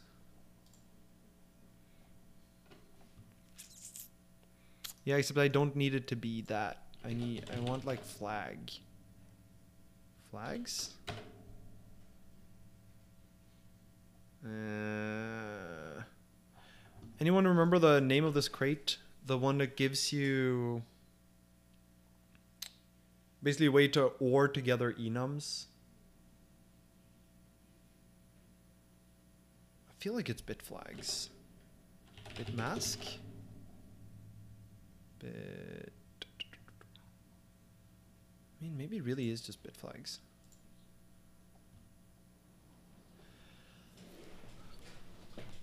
I mean, I don't particularly want. All right, fine. Sure. Bit flags. Bit flags it is. Um, so we're going to depend on bit flags is 0, 1.0. Uh, and then down here, we're going to say that instead of having available be an enum, it's going to be one of these. So struct available. It's going to be a const read. This can be a u8. Uh, const write. So I guess one, two, three, four. No. Yes. No. Binary. What am I on about?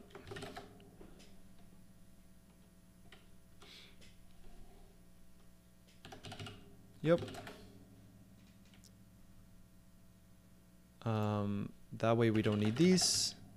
And now, uh, this is going to be, so what does this give me? Great, that one. So I want empty. I want a or equals available read. Uh, and we don't, this is going to be like a to do set available write. And then it's going to return a. And now up in lib world, we're going to say if a dot is, is it is set? Um, I guess just or uh, TCP available uh, read and this.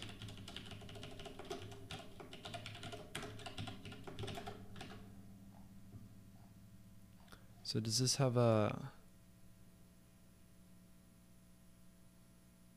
bit end? Why doesn't this have an is set? Because that's really what I want. Um,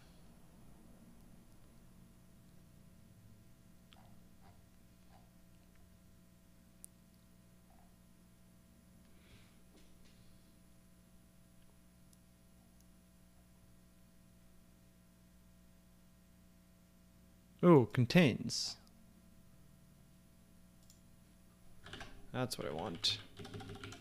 Contains this.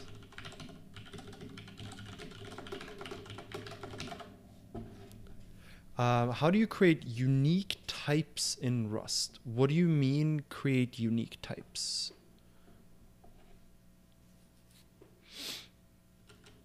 Uh, all right, let's see whether that compiles. Probably not. Uh, this needs to use bit flags, bit flags.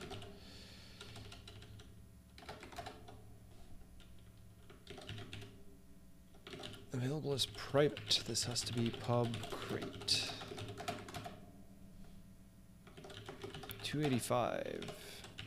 So this has to be self dot uh, availability. This probably has to be the same. And this has to be the same. There are also some questions here about whether uh, to do take into account self.state, right? Although this check might be enough for read. I'm not entirely sure. It, it might only have to be taken into account for write. Uh, 238. Oh, no, this should not be public. All right, let's try that out for size. Uh,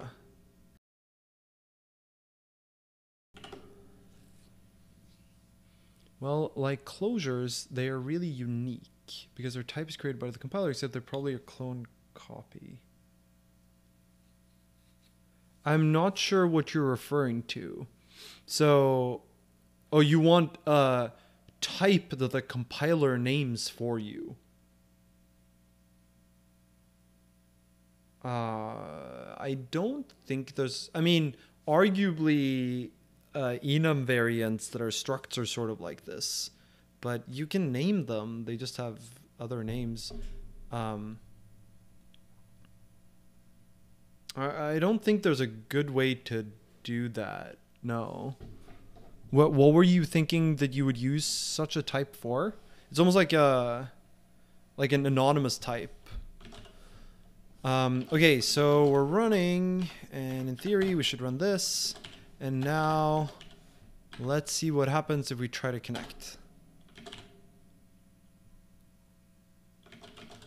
Alright, alright. Oh, we forgot to change main to actually print... Oh, no, it should have printed read data. It did not. So something is broken. Um... It sent a FIN-ACK, but we did not think that we read any data. So, why is that the case? Um, uh, now available for reading.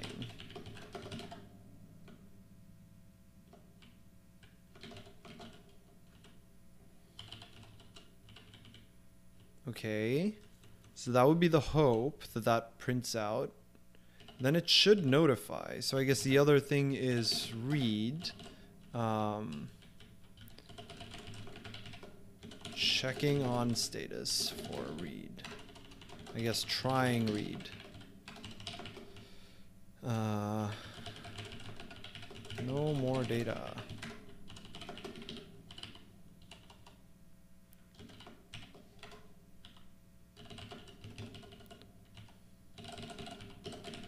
Status is this, this.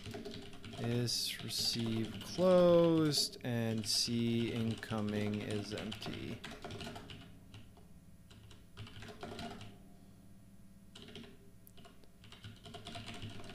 Not yet block.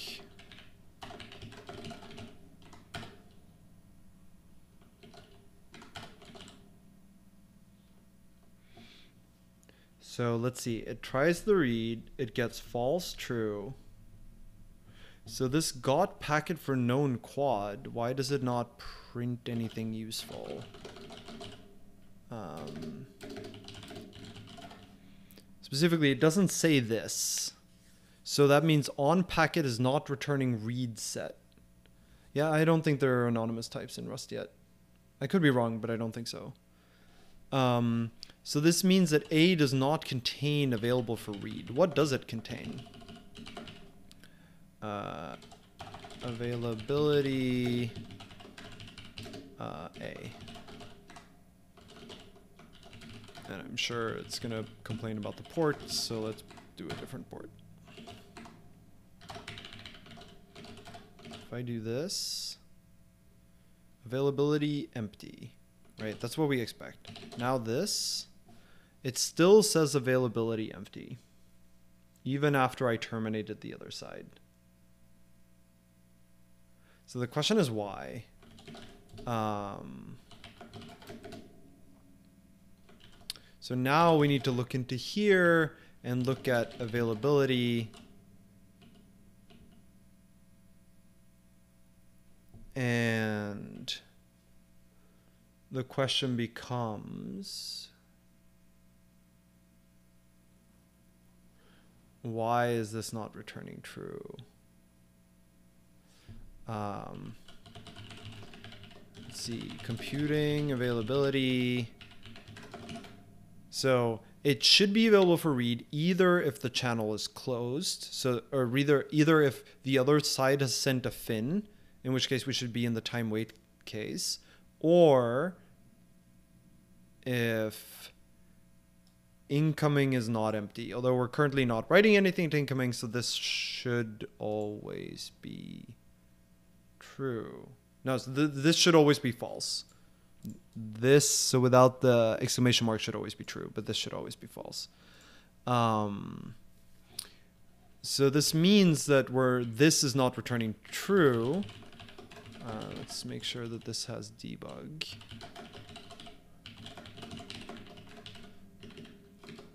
Uh, asked if closed when in self.state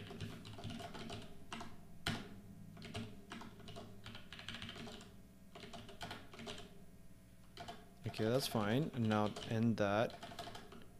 Okay, so asked if closed when in fin finwait 1. So in fin finwait 1, fin finwait 1 is the state where we have sent a fin and it has not yet been acked. Uh, this is the ack for our fin. So now we're in fin finwait 2, which is we have sent a fin and it has been acked. Um, but they have not yet sent a fin. And here the reader is blocked because, well, there's nothing for them to read. Um, specifically, closed is false and empty is true, at which point there's nothing to read, so it's blocking. Here is what we get the. This is where we get the fin. So why is it not transitioning? That's really what's wrong. So we're in finwait 2, and we just received the fin. So why, oh why, are we in finwait 2? That seems wrong. Because um, it, that last packet is the fin ack. And that fin ack should move us from finwait 2 into time wait because we received a fin. So why is that not the case? Well, guess it's time to figure that out. Not okay could be one case. No ack could be another case. Otherwise, bad seq. Uh,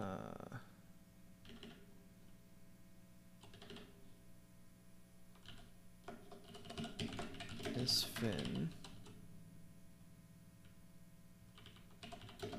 in state. Okay, so hopefully we get down here, but it doesn't really seem like it.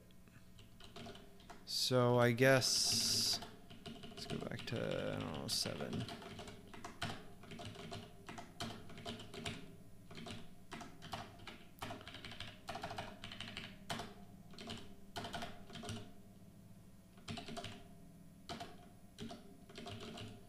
Okay, so the pattern is pretty much what we expect. So the packets are always the same.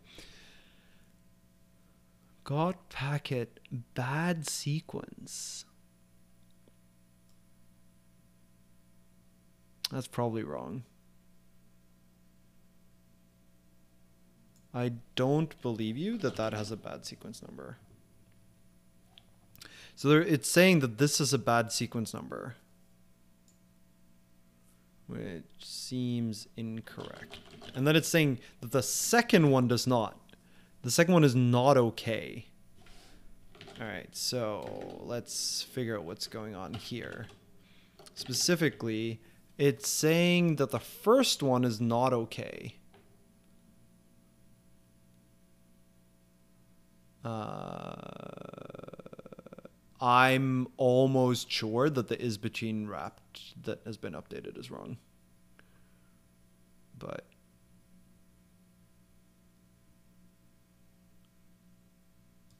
so OK is being set to false. So where is it being set to false? Good old print debugging. Two, three, four. And then the one... Oh, no, the first one said bad seq, which is here.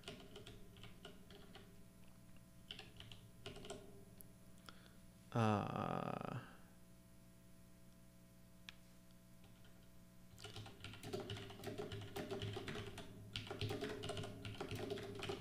This should be self send UNA, ACK N, self send next wrapping add one.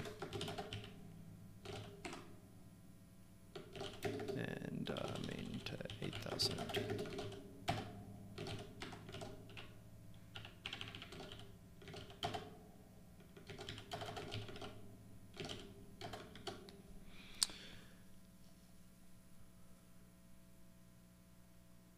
Okay, so all the initial packets seem to be fine. Um, and it's saying this is a bad seq. Two less than two less than three.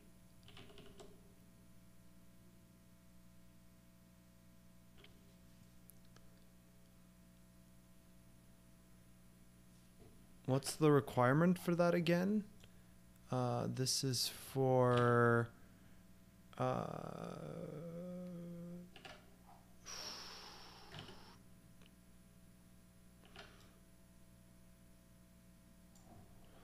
The requirement is that this is less than this is less than or equal to that.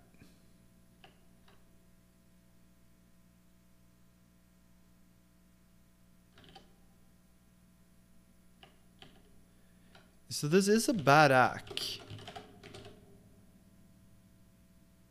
Two, two, three. But how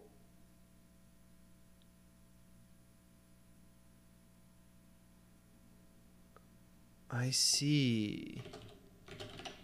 I don't think that's right.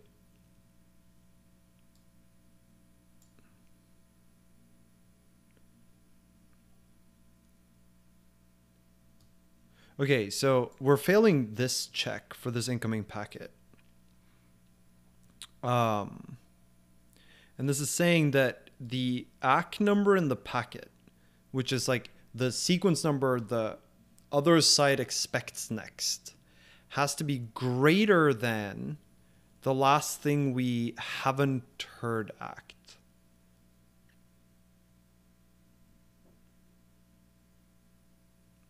Why?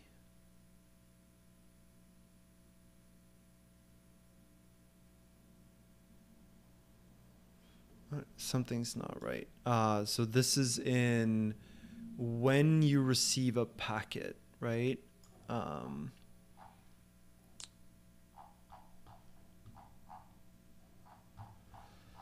um, event processing. So we specifically want segment arrives. If you remember from the previous stream, at the bottom of the of the TCP spec, there's a basically a state machine that you can follow. And what we're looking for here is if we're in established fin wait or one or fin wait two. Um, so that's this. All right, so this is the acceptability check. And the acceptability check we already is already fine.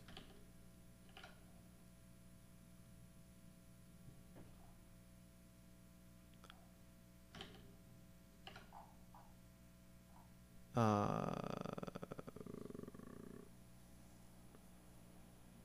yeah, so this this is not the check we're failing. We're failing the ACK field. ACK bit is on, and we are in established fin wait 1 or fin wait 2. If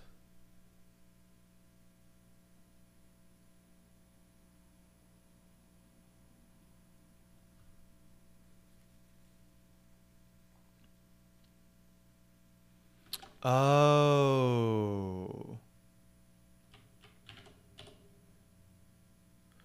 This is really just saying that only if it's between here do we update which things haven't been uh, acknowledged. But we shouldn't stop processing just because of that, right? Uh, accept data. So if what we get is an unacceptable ACK, that doesn't mean that we shouldn't handle the packet. It just means that the ACK shouldn't be used to update our tracker of how much data the other end has received. So for example, we might still want to process the fact that they sent us a fin, right? Um, And crucially, we don't want to return. Great. Let's try that.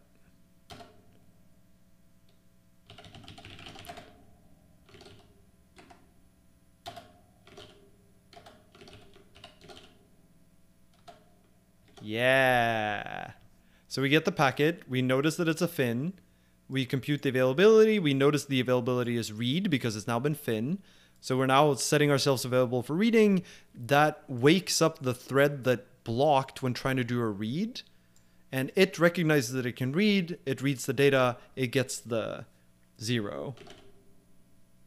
Excellent. Okay, let's get rid of some of these here. Don't need these anymore.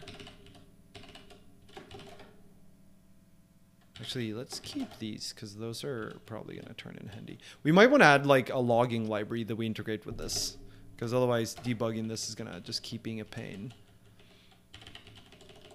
Uh, connection, turn, uh, connection, close. Uh, no more data. Great, so this is still sort of stupid, right? This is still, we're trying to read zero data. But at least it means that we can correctly detect when there's no more data coming. Um, so what do we have now of like e-prints and stuff? Oh, right. Uh, we probably don't want that.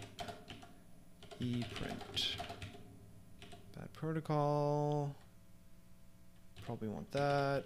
Probably don't want that. That's fine.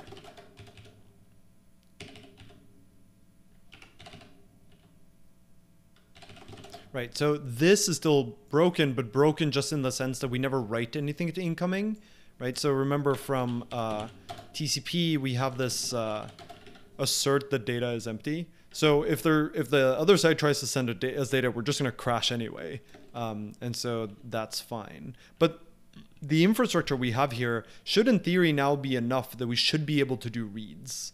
Um, and reads are probably easier than writes because reads don't require any uh, retransmissions. Sort of. You need to retransmit ACKs, but we'll get back to that later. Um, yeah. Okay, so let's uh, go ahead and commit that. Um,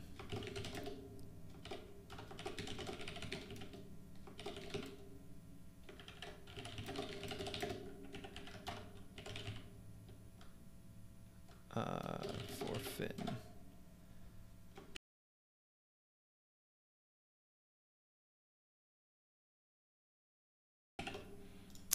Alright, let's me push that out.